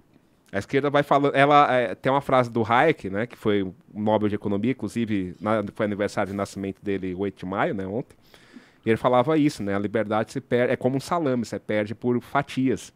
Então o cara tem a grande ideia lá na frente, né, o Estado controlando tudo, mas ele não joga isso pra todo mundo. Não, quero o Estado controlando tudo. É um ou outro é É doidinho lei que fala. ali. É, né? exato. Ele vai devagar, pauta por pauta. Então a gente precisa aprender isso também. Eu eu concordo de debater a grande ideia, discordar e concordar, mas tem a pauta micro que é importante. Eu acho que foi isso que o liberalismo falhou, a gente está tentando corrigir, de mostrar, principalmente o cara mais pobre, o micro pequeno empreendedor no nosso caso, que olha, eu tenho uma pauta aqui que te favorece, eu quero menos burocracia, quero que você empreenda, e aí esse cara vai te ouvir para as outras coisas. Pô, esse cara me ajudou numa coisa, vou ouvir o que mais ele tem de ideia. Claro, com certeza. É construção de, de movimento político. Isso, eu acho legal isso. vocês focarem no micro e tudo mais e, e tal, mas a questão é, o macro também é importante. né? Claro. E eu acho que isso aqui é micro, cara. A gente mudar o sistema eleitoral é, é, um- é uma política micro. Não conseguiram mudar a urna, Monark. Que não é coisa nem de outro mundo, né? Porque é- E é- por que, que não conseguiram? foi um cara? debate contaminado. Virou uma pauta, ah, o Porque Bolsonaro o STF apoia. é um ditador e ele tira a pauta se ele Antes, quiser. antes pô. mesmo, o próprio Congresso parou no Congresso, né? Mas por quê? Ficou uma pauta, ah, o Bolsonaro apoia, logo eu sou contra. Só que eu escrevi um artigo sobre isso, sei lá, seis, sete anos atrás, no site do Instituto. A urna eletrônica brasileira, ela é de primeira geração, é a pior de todas, é a mais antiga. Ah, mas teve umas atualizações? Teve, mas Tem vários países, a Argentina faz isso, não precisa Paraguai ir pra longe. O aprovou Paraguai acabou de fazer impresso. isso. O voto impresso não é uma coisa de outro mundo. Não? Só que ficou a pauta contaminada pelo, ah, o Bolsonaro apoia porque quer voto impresso, blá blá Mas não era porque o Bolsonaro apoiava, cara. Porque essa pauta tá contaminada muito antes do Bolsonaro Pode, entrar no pode poder. ser, mas a pauta real, o jeito de avançar isso é falar, não, eu quero um avanço da urna eletrônica, só uma atualização. A atualização é o voto impresso. Porque para chegar na tua democracia direta, acho que a Estônia faz isso, né? Algumas coisas. Suécia. A Suécia. Para chegar na sua democracia direta, tem que passar por isso, porque senão não chega. Não consigo nem ter uma impre- um voto impresso, imagina a democracia direta. Não, com certeza. Eu acho que a, a- a possibilidade disso aqui passar no- no- na política atual é zero, realmente. gente. Mas você percebe que quem impediu a votação das urnas eh, do modo impresso e por quê? Foi a oligarquia. Porque eles controlam as urnas. Porque isso aqui não é uma democracia de verdade. Infelizmente, mano. É... Então, essa é a realidade então, que, eu, que eu tô querendo combater aqui. Porque, cara, o micro é da hora, vamos mudar, mas não adianta nada as pessoas terem mais direito de empreender se elas não têm um país pra elas, se elas não têm liberdade individual pra, pra falar o que pensa. Eles não podem nem criticar as urnas. Só da gente tá falando isso, já vem um, um anjinho, um demoninho no nosso ombro e fala: fica quieto, É, fica calma lá." quieto, fica quieto. Mas isso, isso não é uma democracia. A gente já tá vivendo numa, numa ditadura. Vai ver um demoninho careca. Então, o que, que adianta a gente mu- mudar a liberdade econômica, sendo que a gente tá caminhando para um autoritarismo nefasto?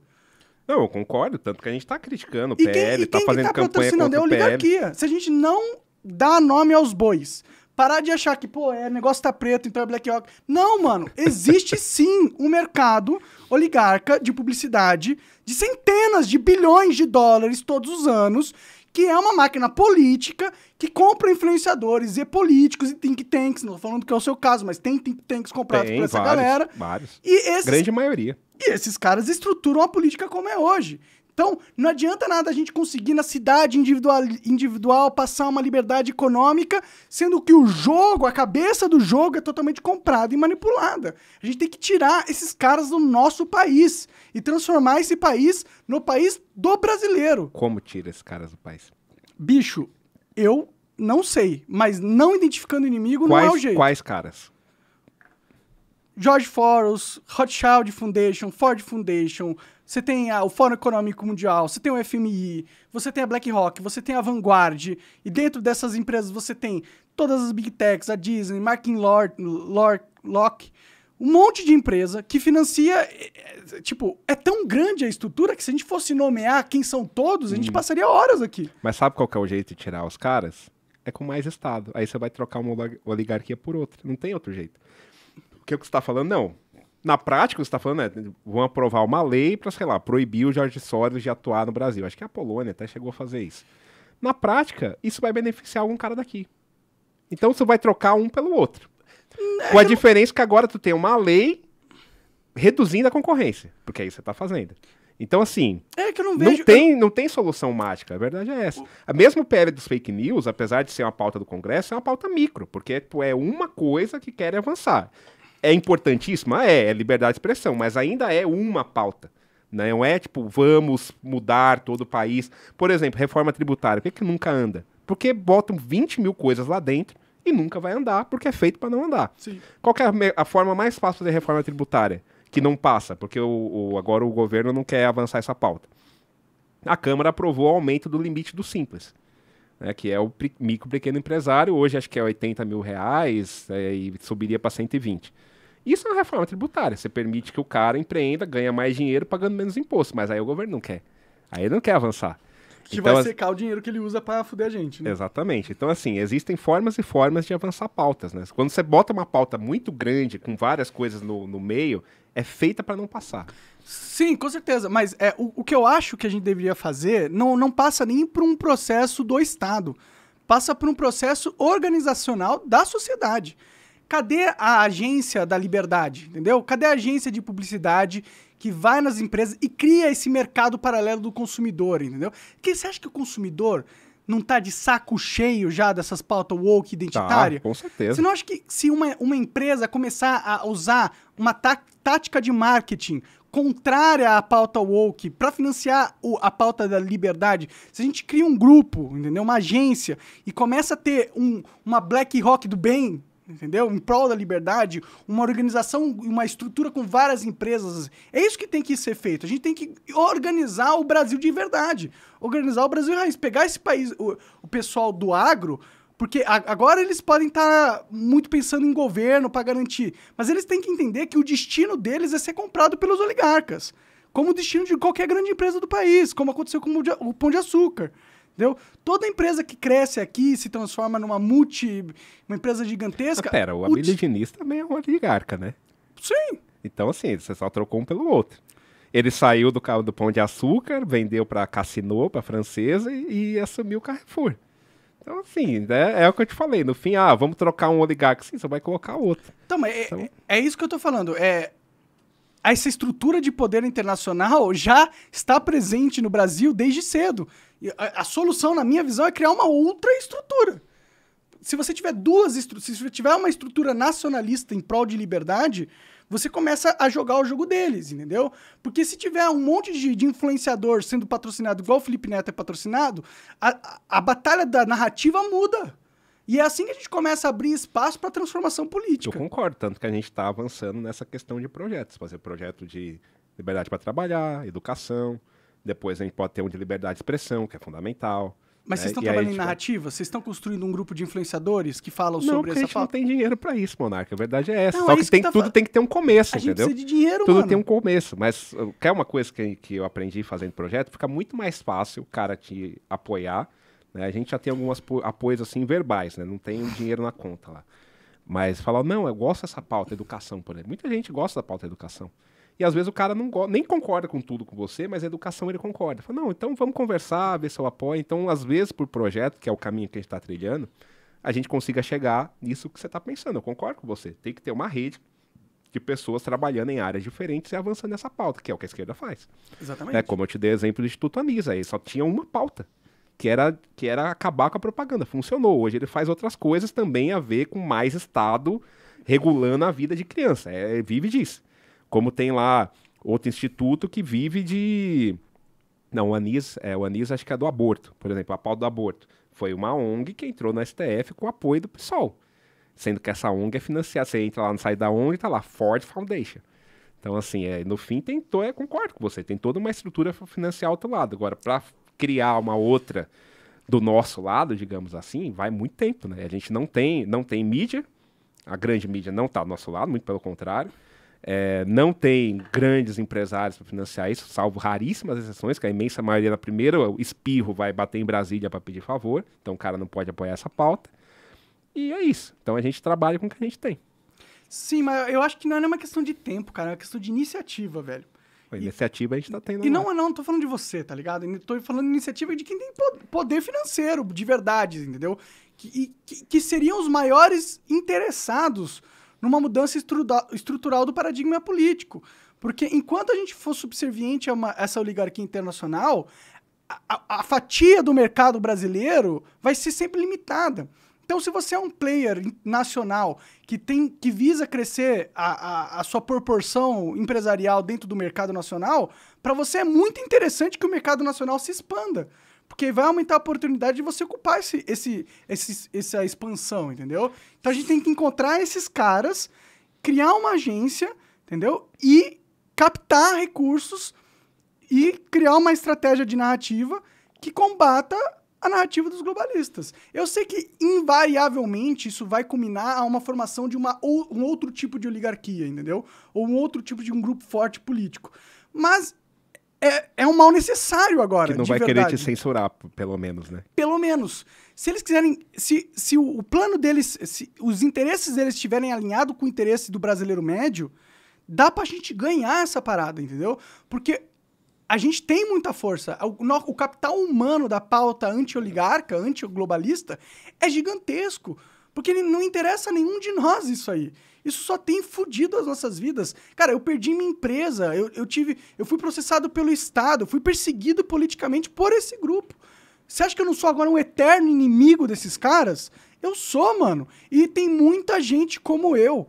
E a gente tem que se unir e parar de, de ficar apanhando pra esses caras, mano. Eu concordo, perfeitamente. Estamos, pretendemos caminhar nesse sentido, né?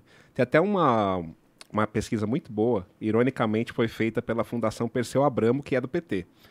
É, logo quando o Haddad perdeu aqui as eleições, eles foram fazer a pesquisa na favela para entender o que, que, tinha acontecido, né? Porque o Haddad tinha perdido. E a, a, a tese deles, a hipótese deles, era que era culpa, culpa dos evangélicos. Então, que o cara entrava na igreja evangélica e não votava na esquerda por causa disso. O que, que eles fizeram? Era uma pesquisa muito boa, por sinal. Eu trabalhei com pesquisa de mercado, pesquisa realmente boa. Os caras realmente gastaram dinheiro para entender e fizeram a pesquisa. Não era não quantitativa, né, de fazer pergunta para duas mil pessoas, era qualitativa, de perguntar para algumas, entender, ficar ali conversando.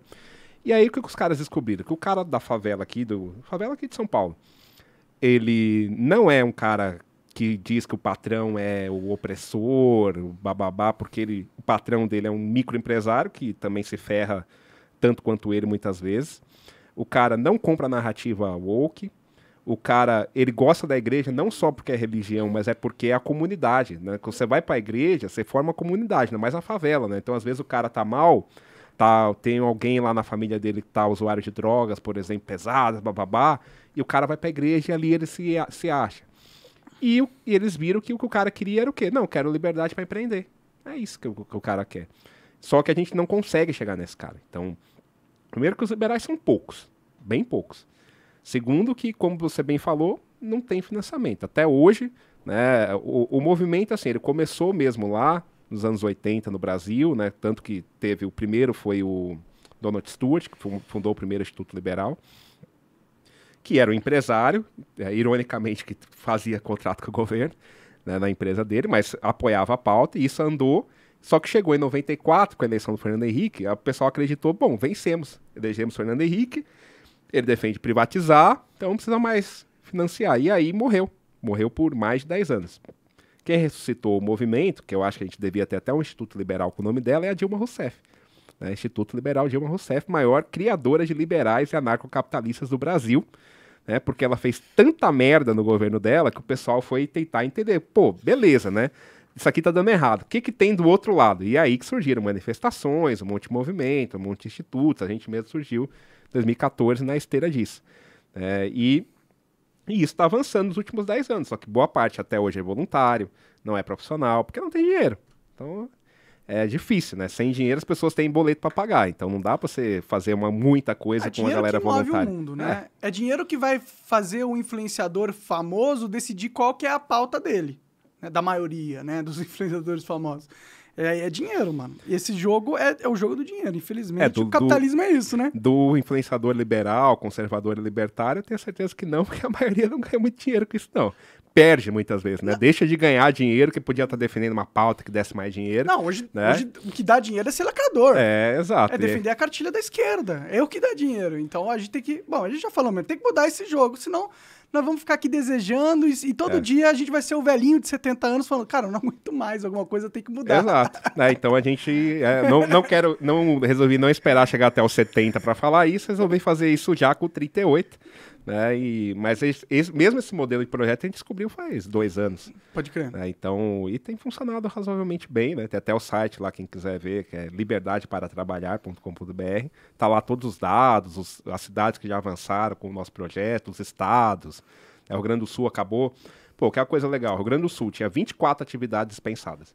Quando eu falo atividade, é, são os quinais. É quem já abriu uma empresa, você tem empresa, você sabe, tem lá, quando você abre a empresa, você tem um tem escolher, um código atividade, de atividade. É. E aí tem mais ou menos 1.350 quinais no Brasil e ela, a lei decide quantos quinais são dispensados de alvará. Uhum. E o Rio Grande do Sul tinha 24 só dispensados, porque dispensa no nível estadual é bombeiro, vigilância sanitária e meio ambiente. E o Rio Grande do Sul tinha um problema muito grande com os bombeiros, por causa do quê? Da Boate Kiss. Uhum. Quando teve a questão da Boate Kiss, aprovaram uma lei chamada, né, é, apelidada de Lei Boate Kiss, para dificultar ao máximo tudo. Qualquer coisa que precisasse de aprovação tinha que passar pelos bombeiros.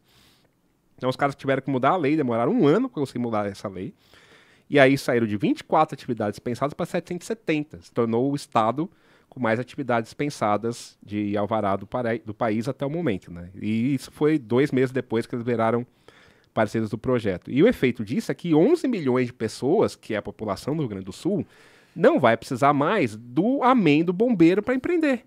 Então Teve isso é um efeito. estatístico na, na criação de novos negócios? A gente fez um estudo, dois estudos em parceria com o Instituto Milênio. A gente não analisou o Rio Grande do Sul, que foi agora, em março, mas a gente analisou as cidades que aprovaram a lei e comparou elas com elas mesmas. Então, a análise estatística, você compara o antes e depois de cada cidade, a média de cada cidade e vê o que fez, né, o que aconteceu.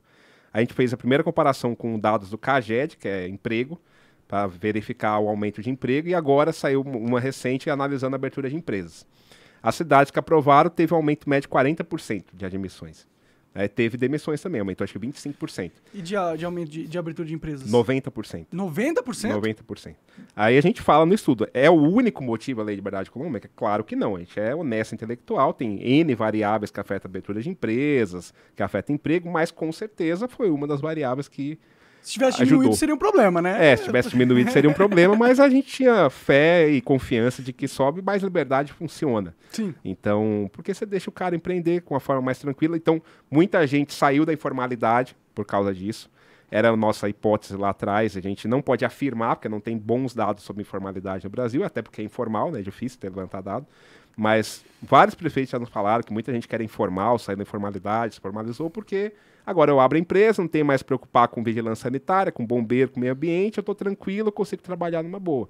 E aí esse cara gera, daqui a pouco gera mais um emprego, daqui a pouco o cara que está lá na favela vira empregado desse cara, e assim o país vai andando. Sim, sim, não, né? É, é uma pauta legal, eu sou a favor dela, nem um pouco contra. É, vamos lá, dou até força aí, vai lá, galera, ajuda o cara a provar mais liberdade pra galera não ter que depender da autorização do Estado para trabalhar, né? Que é um absurdo. Né? Não, por favor, deixa eu cuidar da minha família. Não, é. não deixo. Eu tenho que se fuder.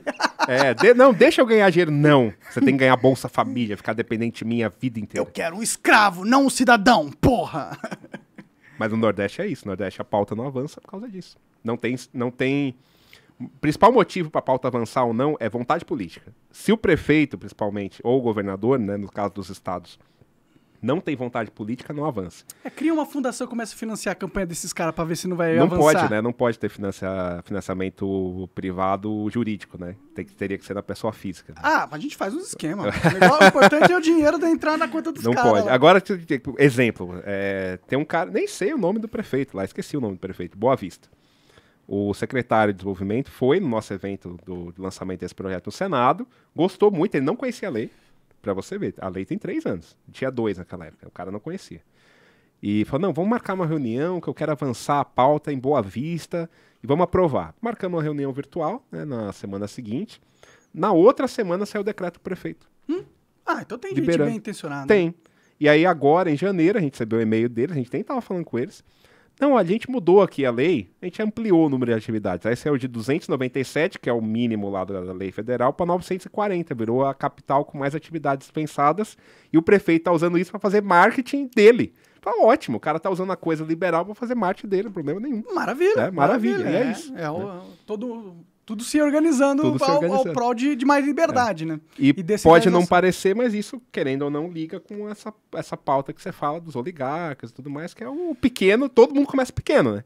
Então, a, aí, se você facilita o pequeno, alguns desses vão subir e vão criar coisas maiores. E eles são os maiores destruidores do pequeno, né? Você pega o Walmart. O Walmart, quando ele quer se estabelecer numa cidade, ele entra lá, coloca um mercado, deixa os preços bem abaixo do valor de custo, quebra todo pequeno comerciante, porque não vale mais a pena comprar na mercearia do seu Zé quando você pode comprar pela metade do preço no Walmart. Quebra todo mundo, quando quebrou todo mundo, sobe os preços de mas novo. Mas no Brasil ele não conseguiu ficar, né? Teve que vender a operação daqui. Sim, mas é porque aqui já tinha um, um pão de açúcar que poderia tancar essa estratégia e descer os preços Sabe também. qual é a margem de lucro do Walmart? 4%. Hum. Você conseguiria trabalhar com 4% de lucro? Se for de centenas de bilhões, sim, né? Sim, mas é 4%. é, é muito pequena a margem do varejo. Né? Varejo é uma das áreas mais difíceis de todas. Não estou falando só, obviamente, do grande, mas o pequeno também. é bem difícil. Tem saído da Califórnia também, né? Porque eles aprovaram a lei para roubar agora, né? É, tá liberada, tá liberado. Beleza, aí, ó. A esquerda conseguindo o que quer, né? É, bom, estão destruindo a oligarquia. É, né, pois é, olha aí. Daqui a pouco eles estão que nem a galera do presídio, dizendo, não, tô combatendo o sistema. É. é de certa forma, eles estão, né? É que o cara chama o Estado de sistema, né? Mas, enfim, o cara tá roubando alguém, não tá combatendo o sistema, né? Tá... Não, não, realmente, não. A não ser que ele esteja roubando um político. Aí é, sim. aí dizem que é, que é restituição, né? Ladrão que rouba ladrão, mil é, anos de perdão, mil anos né? de perdão, é, exatamente. Então, mas é, é, a gente está avançando, do jeito que dá, com pouca estrutura mesmo, pouca verba, pouca gente financiando, a gente avança. Pô, aqui eu fico muito triste que seja pouca verba ou pouca gente financiando, porque eu acho que o processo de mudança para o Brasil é justamente o oposto. Organizações que têm o, a, a fundamentação em garantir mais liberdade individual, seja econômica, mas também de expressão, ir e vir e tudo mais, meio que é, é, necessário que a gente jogue dinheiro nisso, entendeu? Se eu fosse um bilionário, eu jogava dinheiro, mas infelizmente não, não sou, eu só me fodo. É, eu concordo com você, pô, se eu tivesse dinheiro, eu jogava, colocava aqui, pô, tinha até um logo aqui, cadê a propaganda Pois é, cadê, cadê esses bilionários bonzinhos? Cadê, cadê? Cadê os bilionários bonzinhos? Só tem propaganda, malvado, né? É, só tem o cara financiando o Felipe Neto indo pra ONU, pô, pra bater é. palminha lá da Foca. Pra falar, não, tem que censurar o brasileiro mesmo, é, realmente é o povo aí. brasileiro não tem liberdade, não, se der liberdade pra ele falar, pô, vai acabar com o nosso, é. nossa mamata aqui. Censu censura liberdade. É. É, é. Infelizmente é isso. Esse mundo tá. Eu fico meio cínico, cara, pra ser sincero. Você já passa na sua cabeça assim. Ah, mano. Por que, que eu tô fazendo isso aqui? Essa merda não muda nada. Sabe o que, que é? É porque o, o, pessimista ele não consegue nada, né? Quem, quem move o mundo é o otimista. Então, assim, tem horas que desanima o Brasil? Tem, várias. Mas se eu, se eu, se eu for o cara pessimista, eu não faço nada. Nem no instituto, nem na minha empresa. Então, né? O que, que eu vou fazer? Ah, você, é você pode ser otimista para mudar a sua vida individualmente e pessimista para mudar o mundo, né? Eu gosto de ser um otimista realista. Eu vejo o que acontece, vejo o que tem de problema e trabalho para melhorar isso, né? Agora, com um pouco de verbo que a gente tem, consigo ter alguma equipe trabalhando nisso. Então, tá avançando. Passo de tartaruga, mas vai. Pode crer, pode crer. Você seria a favor da bomba atômica, não? Mas é que tá, tipo, o que, que adianta a gente debater se eu sou a favor ou contra a bomba atômica. Tem que colocar esse assunto na, na, na boca do não povo. Sei, pô. não sei, sinceramente. O que, que adianta de qualquer coisa, então? Se tudo é. Não, mas tem, tem, tem coisas que eu consigo afetar. Tô, tô falando do que eu consigo afetar, mas uma bomba atômica. Primeiro que não é nem, muitas vezes, na decisão do Congresso, é o governo. Mas aí vai vir os Estados Unidos falando, não, você não tem autorização, porque tem lá o pacto de. Que eles querem manter a gente como pacto colônia, não nuclear, né, e tudo mais. É. Então. Deixa uma... todas as bombas atômicas com a gente, não é, e, e, e, com a Rússia, né? E com a China, e com a Índia. É, não, e o Brasil não. O Brasil, Brasil não, não tem direito Brasil é, não... de ser soberano. O Brasil até tem hoje. Que discutir essas coisas, pô. A gente tá no podcast. Não, claro. Não, só claro. É porque não. Eu... Porra, passar lei aqui. É porque eu, eu não preciso. Eu ter... vou decidir. Vamos decidir. Eu e o Marcelo agora vamos liberar. Não, claro, mas é porque eu não preciso ter necessariamente opinião formada sobre tudo, né? Eu acho que um país como o Brasil discutir bomba atômica, sei, sei se, se é tão relevante assim. Eu acho. Quando o país tem 100 milhões de pessoas cagando um buraco. Esse, entendeu? esse argumento não, então... Não, não, me satisfaz. Não, tudo bem, mas a realidade ah, é essa. A Coreia do Norte tem um monte de gente que nem tem buraco para cagar e eles têm a bomba atômica, entendeu? Uma coisa não é exclusiva da outra. E ela só se mantém existente no mundo por causa que elas têm bomba atômica, tá ligado? O Brasil tem uma bomba atômica, que, é o, que é o agro. É, Se o agro brasileiro fechar, a China vai, vai, alimentar a China, os Estados Unidos, como? Europa. É bom, tem isso. Tem esse é um poder muito maior que a bomba atômica. A comida. É, só que você pode invadir aqui e tomar conta das nossas fazendas, né? Pode, claro, pode ter uma invasão de mas fato, mas tiver nunca uma teve. atômica, até não, hoje né? nunca teve, né? Mas o até Paraguai aí... tentou. Paraguai tentou, não deu muito certo, né? Não deu, né? Porque não era o Paraguai, não os Estados Unidos. É. Né? Teve a guerra lá atrás também, né? Que dizem que foi de certa forma, financiada para evitar que o Paraguai crescesse, apesar que isso é meia história, né? Não foi só isso. A Tudo é financiado. Nada, nenhuma decisão política relevante do mundo não teve um ator oligarca por trás. No Irã, esse cara, quem colocou o Ayatollah lá? É, foi, foi os próprios europeus e os americanos que financiaram o Ayatollah. Agora eles odeiam ele e querem tirar. Mas foram eles que colocaram lá. O próprio Saddam Hussein também, né? O, Saddam Hussein Osama Bin Laden, Bin Laden, era gente da CIA, pô. É. Então, é, esse é o jogo, entendeu? Então, o jogo é muito perverso, o mundo não é livre. Tipo, é tudo controlado por esses caras. A gente tem que vencer eles ou a gente tem que se conformar, ser escravo para sempre. E aqui vai virar uma China, porque é o caminho que tá indo. Já tem até o PL, né, para começar com a parte da censura. Começa logo com a parte mais importante, como, como dizem, né? Acho que o George Washington falou sobre isso, né, que tudo como o totalitarismo começa com a censura, porque se você não vai poder criticar, aí passa todo o resto, né? Não é não? Quando Hitler assumiu o controle da Alemanha, qual que foi a primeira atitude política dele? Acabar com a liberdade de expressão. É. Ou normalmente jornais. ou é acabar com a liberdade de expressão ou é desarmar a população, porque aí também não tem gente armada revoltada contra ele, que foi o caso da Venezuela. Aliás, e do Brasil agora, que duas inclusive foi o, o Viva Rio lá, teve até agradecimento do, acho, do Maduro do, do Chaves, acho que era o Chaves ainda, agradecendo o cara do Viva Rio por ter feito a campanha do desarmamento na Venezuela. Olha que beleza que a gente exporta, hein? É, e agora o Lula tá tirando a arma dos CAC, perseguindo os CAC. Tá, tá. Né? Então, Fez recadastramento. Então a gente tá indo pra uma ditadura mesmo. Quer dizer, já é uma ditadura o Brasil, né? Então, como que... que é muito triste isso, cara. É muito triste aceitar que esse país maravilhoso vai se transformar numa ditadura perversa e tirânica que vai sugar até a, a última gota do sangue do brasileiro. É muito triste isso. Eu não quero que isso aconteça, não, cara. Nem eu. Porque eu vou, Tá eu vou poder pegar um avião e ir para os Estados Unidos, mas e os 100 milhões de pessoas que não têm Pois é. saneamento básico? O que, que eles vão fazer? Nada, vai viver de Bolsa Família e, e vive. É que nem o cara que tá na Venezuela. Muita gente fugiu, quem tinha condição fugiu, mas quem não tinha, tá lá até hoje. Vivendo de cesta básica, Comendo mas pra receber cesta básica você tem que apoiar o governo, então aí o governo se reelege eternamente, né? Dá pra- não dá nem para chamar de eleição, né? Sim. Que não tem oposição. É, e aí é isso, é o social... aí vira o socialismo, né? Todo mundo dependente do Estado e não consegue mudar o regime. Cuba tá aí há o quê? Há 60 anos, assim. Sim. né? Então é complicado. Só que o Brasil é um, é um país muito maior, né? Então o que me dá também um pouco de esperança é que é mais difícil fazer isso para um país maior. É impossível? Não. A China está aí para mostrar que é possível, mas a China é cultural também, né? A mentalidade chinesa, lá desde lá de trás, já é de ter mais controle de alguém de fora. É, o Brasil, de certa forma, teve isso com Portugal e tem agora com Brasília e tudo mais, mas não é o nível chinês ainda.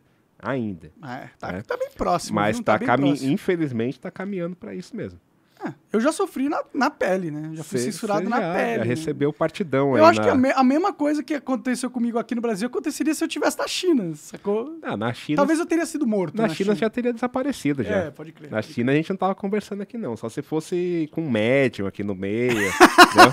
Senão você não ia, não ia conseguir conversar, não. É o, é o, o, o monarque do Além Talks. crer. Seria só meu espírito mesmo, É, realmente. senão seria difícil. É, bom, não, não que eu ainda não possa sofrer prisão e tudo Não, mais. tem um exemplo lá do cara de Hong Kong, chama Jimmy Lai. É um- até saiu um filme da Acton é, recentemente sobre a história dele, acho que é The Hong Konger. Tem de graça no, no Google, quem colocar aí Google YouTube encontra. Apesar do YouTube ter te banido, ainda tem algumas coisas lá. Algumas coisas ainda tem. É.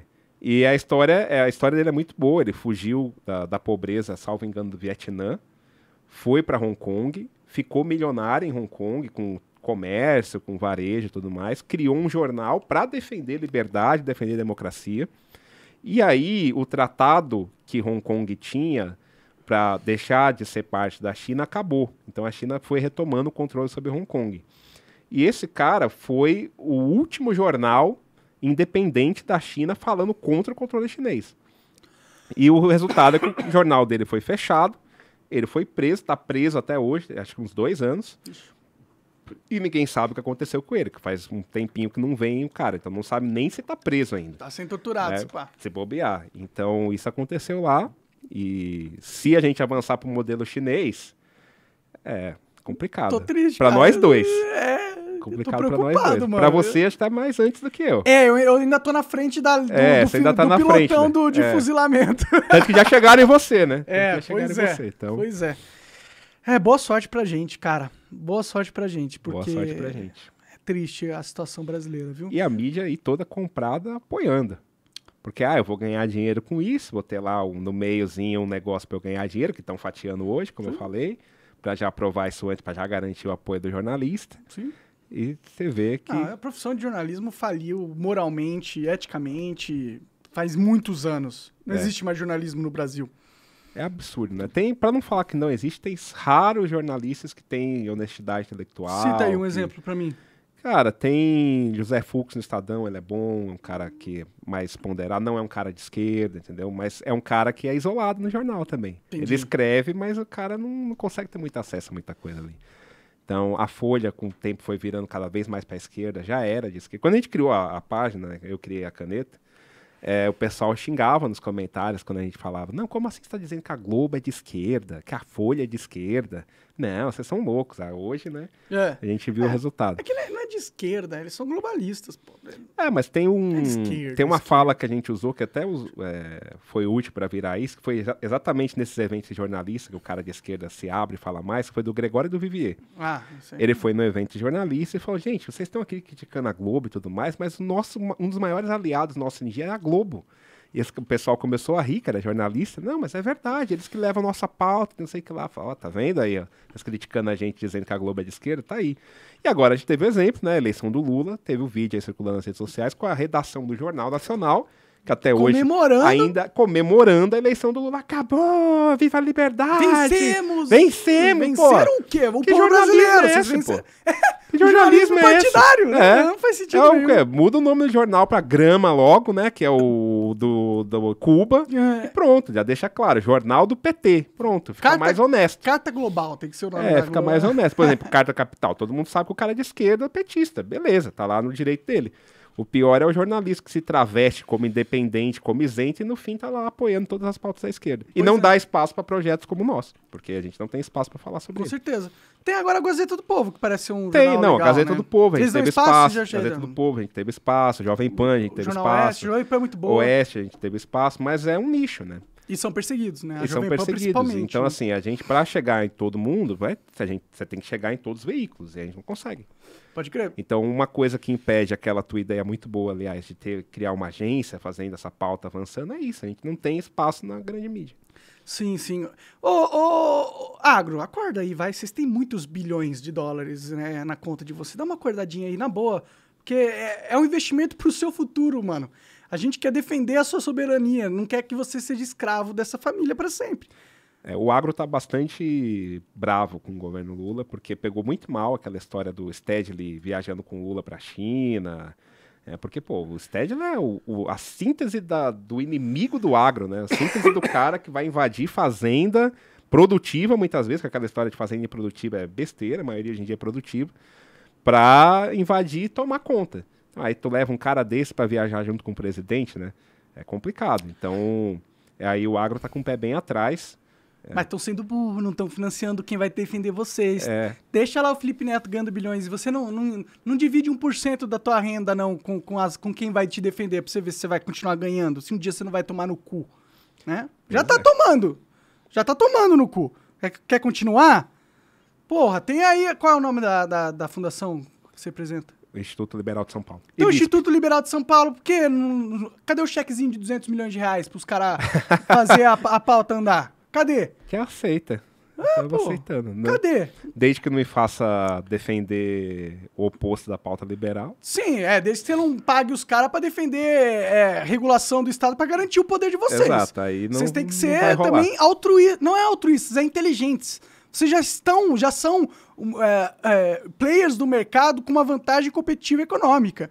Então, a liberação do mercado vai ajudar vocês, mesmo que não seja uma liberação com seu nome na carta, tá ligado? Porque vocês estão na posição estratégica mais favorável de aproveitar condições econômicas melhores. É, tipo, não precisa pagar você pra apoiar eles. É só apoiar a liberdade que você ganha por Até porque o agro brasileiro avançou graças a isso. né? Como eu falei, ele era muito fechado, como é a indústria até hoje, e foi a abertura que permitiu essa grande expansão do agro no Brasil. Inclusive, é um uma área que paga menos imposto, que é muito exportadora. Então, a exportação, por definição, no mundo inteiro, normalmente não é taxada a exportação, você taxa a importação. Então, é um setor que já paga pouco imposto, já tem menos regulação, porque botar muita regulação não tem comida. né? então, já é um setor, se bobear, é o setor mais liberal que tem no Brasil. É. e, só que é como, Libera a grana aí, os liberais. só que como você bem falou, né? é, uma hora o governo chega, né? Uma hora ele che- primeiro tá chegando na, em quem fala contra, depois vai chegar talvez no evangélico, porque ah, você é homofóbico, transfóbico, pastor falando contra, bababá, né? Daqui a pouco chega no agro, porque ah, você tem aí o, o defensivo agrícola, que eles chamam de outra coisa lá, o esqueci o termo pejorativo, né? Estão matando os abelhas? Matando as abelhas, bababá. Tudo começa com alguma coisa e vai avançando. Seus inimigos estão pondo dinheiro na causa contra vocês, hein? Se vocês não colocarem também a favor, vocês vão perder. Vocês estão perdendo. É, tem, um, tem um exemplo Cadê o chequezinho? Tem um exemplo prático, fizeram levantamento, eu descobri esses dias, acho que é recente, não foi publicado em lugar nenhum. é, pegaram uma fundação para analisar os livros do ensino fundamental e médio para ver qual era como o agronegócio estava tratado no livro. 60% dos, das menções eram agronegócio destrói a Amazônia, agronegócio é ruim para o Brasil, agronegócio não sei o que lá. E aí a criança, adolescente, ele cresce ouvindo isso. Num países mais com a agricultura agropecuária mais desenvolvidas do mundo, né, se tem uma coisa que avançou no Brasil foi o agro. E a criança adolescente brasileira cresce ouvindo que não, o agro está matando a Amazônia, é o desmatamento, que o agro matou as girafas da Amazônia, né? Então, matou, tá extinguiu, mas, não tem mais extinguiu, extinguiu, é.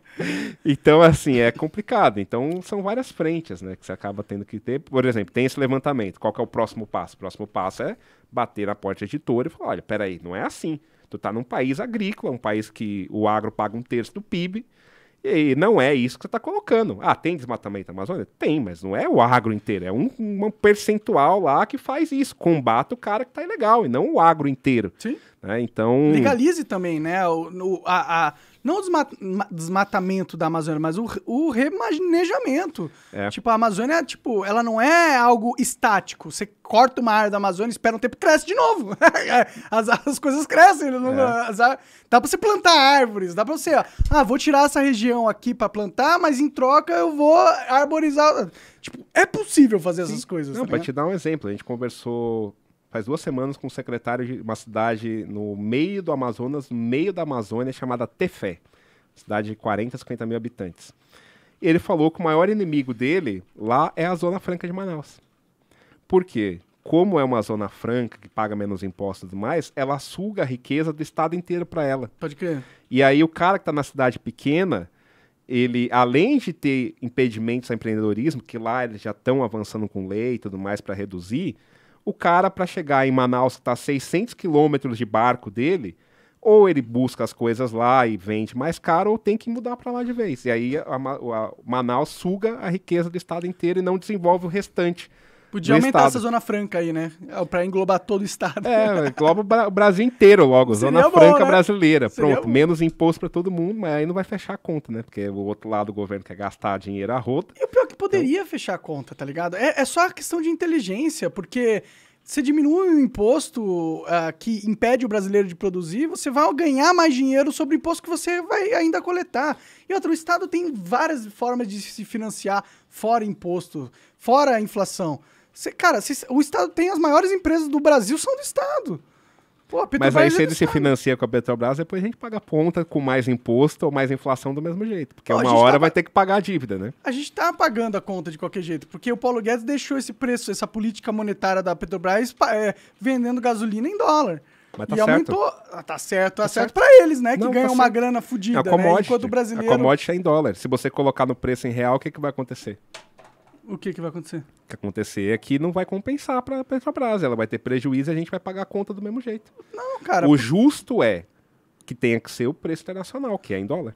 Não, e é que, é e que, não, não é justo, desculpa. Não tem é. nada de justo nisso. Primeiro porque é, o preço internacional 100 dólares não foi algo aleatório, foi algo imposto ao mundo, inclusive está mudando. Não, é porque é negociado em dólar nas bolsas. É o mesmo, é, o teu argumento é o mesmo do cara da França dizendo que o preço da soja do Brasil tem que ser negociado em outra moeda que não o dólar. É o mesmo argumento. Tem que não, ser negociado em real. Tem que ser negociado em dólar.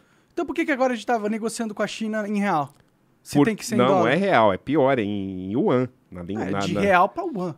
Na, é de moeda deles, mas é porque o, o, comprador decide, né? Se o comprador falar, não, agora só vou te pagar em yuan, ou você aceita ou você não vende. Então, a gente, o, o e por quê? Gente... Porque a, a, então não é necessário que seja a China, em dólar. A China entendeu que, é, para ela, ela tem que quebrar esse monopólio do dólar no comércio internacional. Então, não é só para ela, é para a gente também, né? Para quem interessa esse monopólio? Você acha que interessa para gente? Que que você acha, que que você acha melhor? O, o estado o dólar, claro, mas alguma moeda vai ser usada. Alguma moeda Várias. será a maior a maioria. Alguma será. Mas não hegemônica. Que que cê, não, tudo bem, eu concordo, tem que ter mais moedas, mas o que que você acha? O que que você acha menos pior? Que a hegemonia seja o dólar americano ou a moeda chinesa?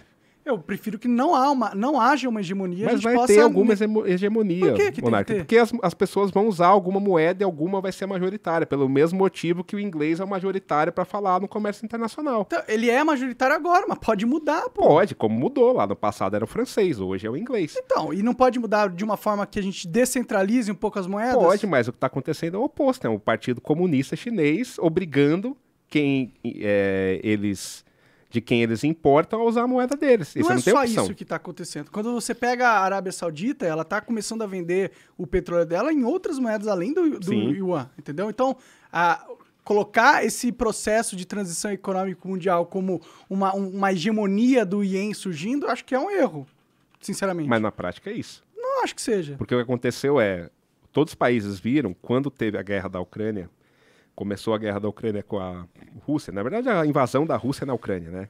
A guerra da OTAN contra a Rússia, né?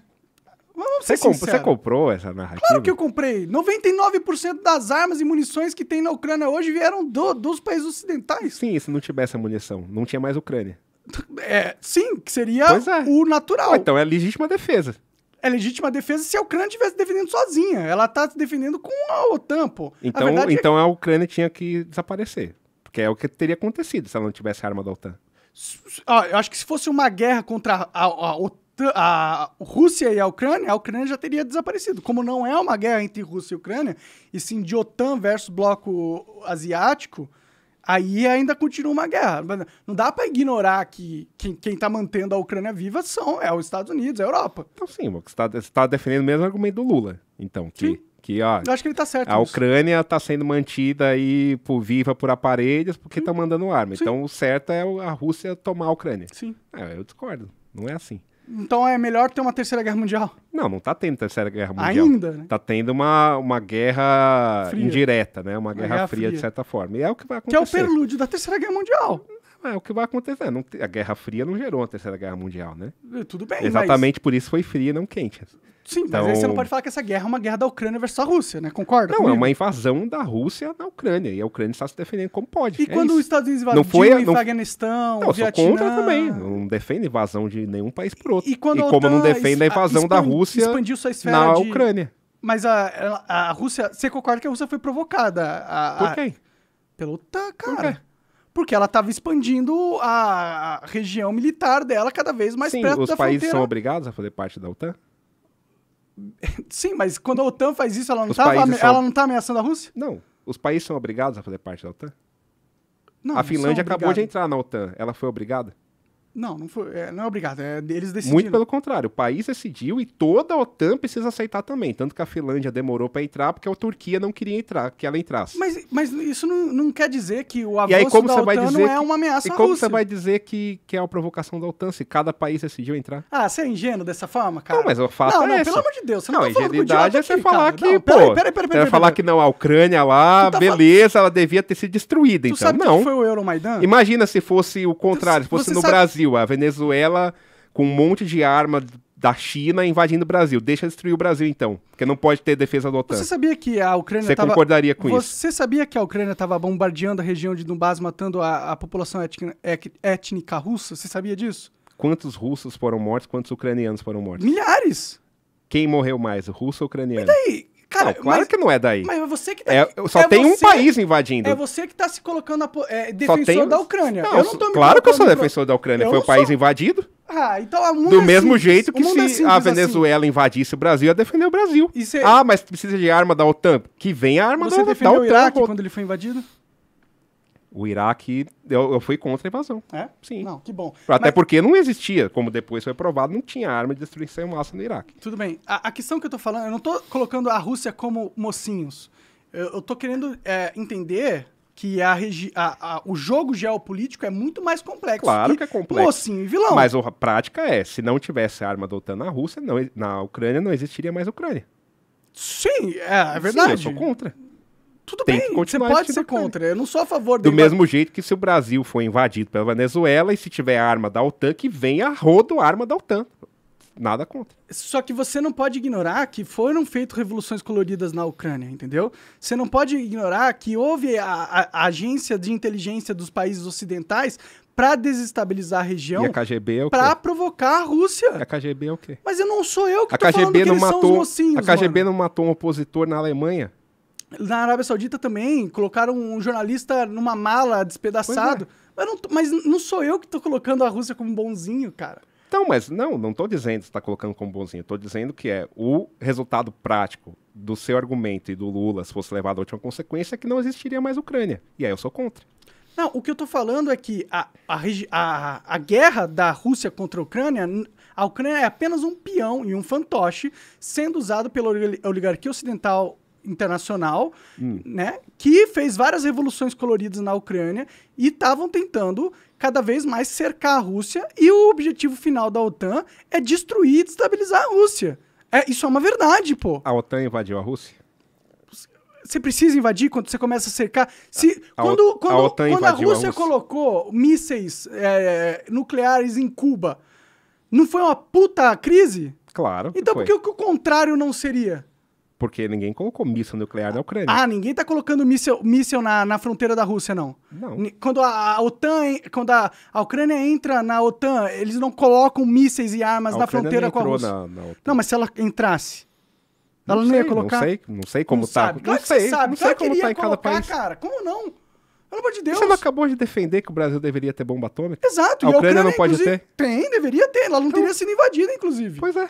Mas não sou eu que tô defendendo. a- é que você tá falando que Não, eu tô defendendo que... a- essa guerra é uma guerra da contrário- Ucrânia versus Rússia. Eu- não é uma guerra de mas Ucrânia também não Rússia. acho que é Ucrânia versus Rússia. O ponto Mas é... esse, esse é meu ponto. Aí você, tá, você comprou o discurso de que foi uma provocação da OTAN. A Mas OTAN, foi mesmo. A OTAN é Mas foi expandida pelos próprios países. O país tem que entrar, pedir autorização É, e ser aprovado. é, tá não bom. é tipo, oi, oi, Rússia, tô te provocando aqui. A OTAN é boazinha, nunca teve é, guerra híbrida pela, patrocinada pela OTAN no território o que você defendeu já ucraniano. Aconteceu na Geórgia.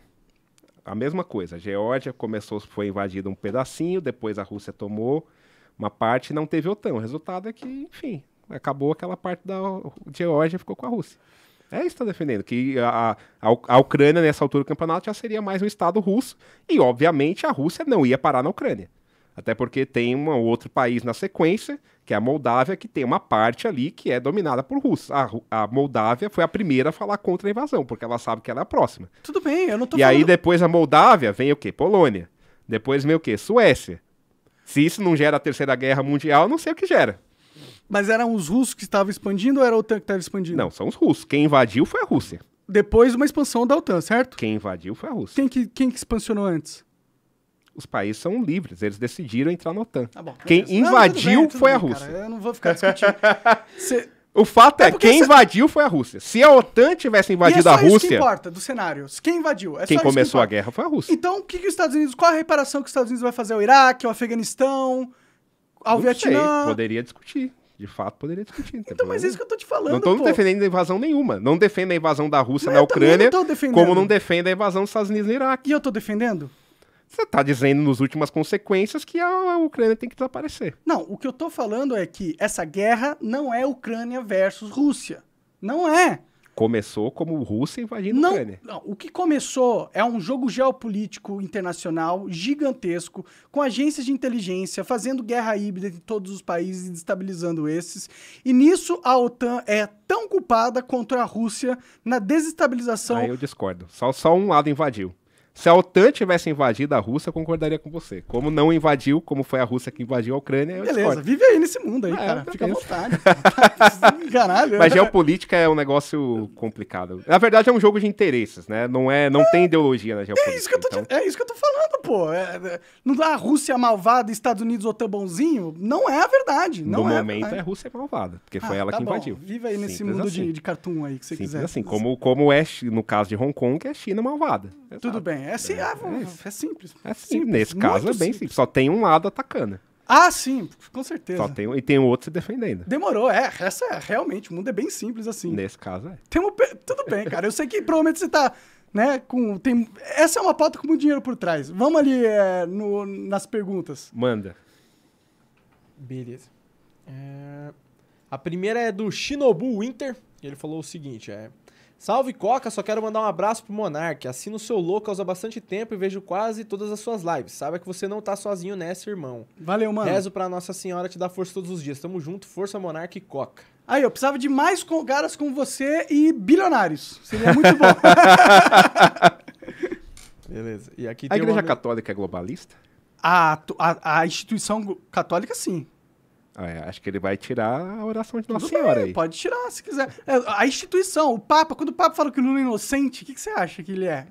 O Papa é, um ator político, Não, comprado, é, é, um fantoche. ele é um chefe de Estado, né? Do, do Vaticano.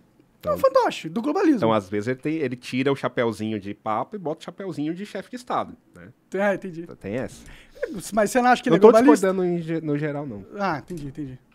Ó, o- essa mensagem aqui eu dei até uma lida, mas não, não entendi não, cara. Mas vamos lá. A gente tenta traduzir, vamos lá. Conrado Vieira mandou o seguinte, ó. Monark, sou o Conrado Vitória K de Brasília. Que você e a Rebeca vieram me resgatar há uns três meses. Você lembra de mim?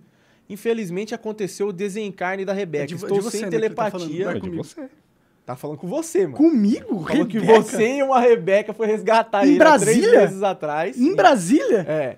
Aí ele falou que infelizmente aconteceu o desencarne da Rebeca e que ele está sem telepatia. Então, por favor, é pra você entrar em contato com ele pelo WhatsApp que ele deixou aqui. Que ele tá sem telepatia. pra falar com Profunda você. essa, hein? Caralho, eu tô pensando, será que eu durmo, eu, eu faço uma projeção astral e vou Cês- salvar pessoas? Em Brasília ainda. em Brasília. É, caralho. Caramba, você é um sonâmbulo potente, hein? Olha, cara, ou você encontrou meu irmão gêmeo, telepata, ou você tá muito maluco de droga, velho. Uma das duas opções aí. Essa pergunta realmente foi É. criativa, viu? da hora demais, da hora demais. Bom, Marcelo, obrigado, cara. Valeu demais, foi excelente a, con- a que conversa. agradeço. Espero que, porra, é, se consiga convencer parte do Nordeste a ser mais economicamente livre. É, torço que um bilionário tenha ouvido a nossa conversa e achine um cheque de 200 milhões pra você é, lutar a sua pauta aí. Pô, se, se vier depois da, da tua defesa, até coloco aqui um. Dá uma né? patrulha, Ah, é, é tá bom, né? certo, é. É bom, cascalho é bom, né? É, pô, 200 milhões. Dá pra fazer Dá. muita coisa. Mas obrigado. Obrigado, Monark, pelo convite, obrigado pela conversa, né? Concordância e discordância à parte. E quando a gente tiver um podcast, eu te chamo também. né? Demorou, Fazer pode um- chamar, apareço lá. né? Beleza. Então, obrigado a todos também que acompanharam. E sigam lá, ILISP, né? ILISP, tá todas as redes sociais. E acompanhem nosso trabalho por lá. Pretendemos fazer bastante coisa nos próximos meses. Show de bola, valeu, cara. Obrigado Valeu. mesmo. Obrigado, Abraço. galera. Até mais, até Falou, a gente, próxima. até mais. Tchau.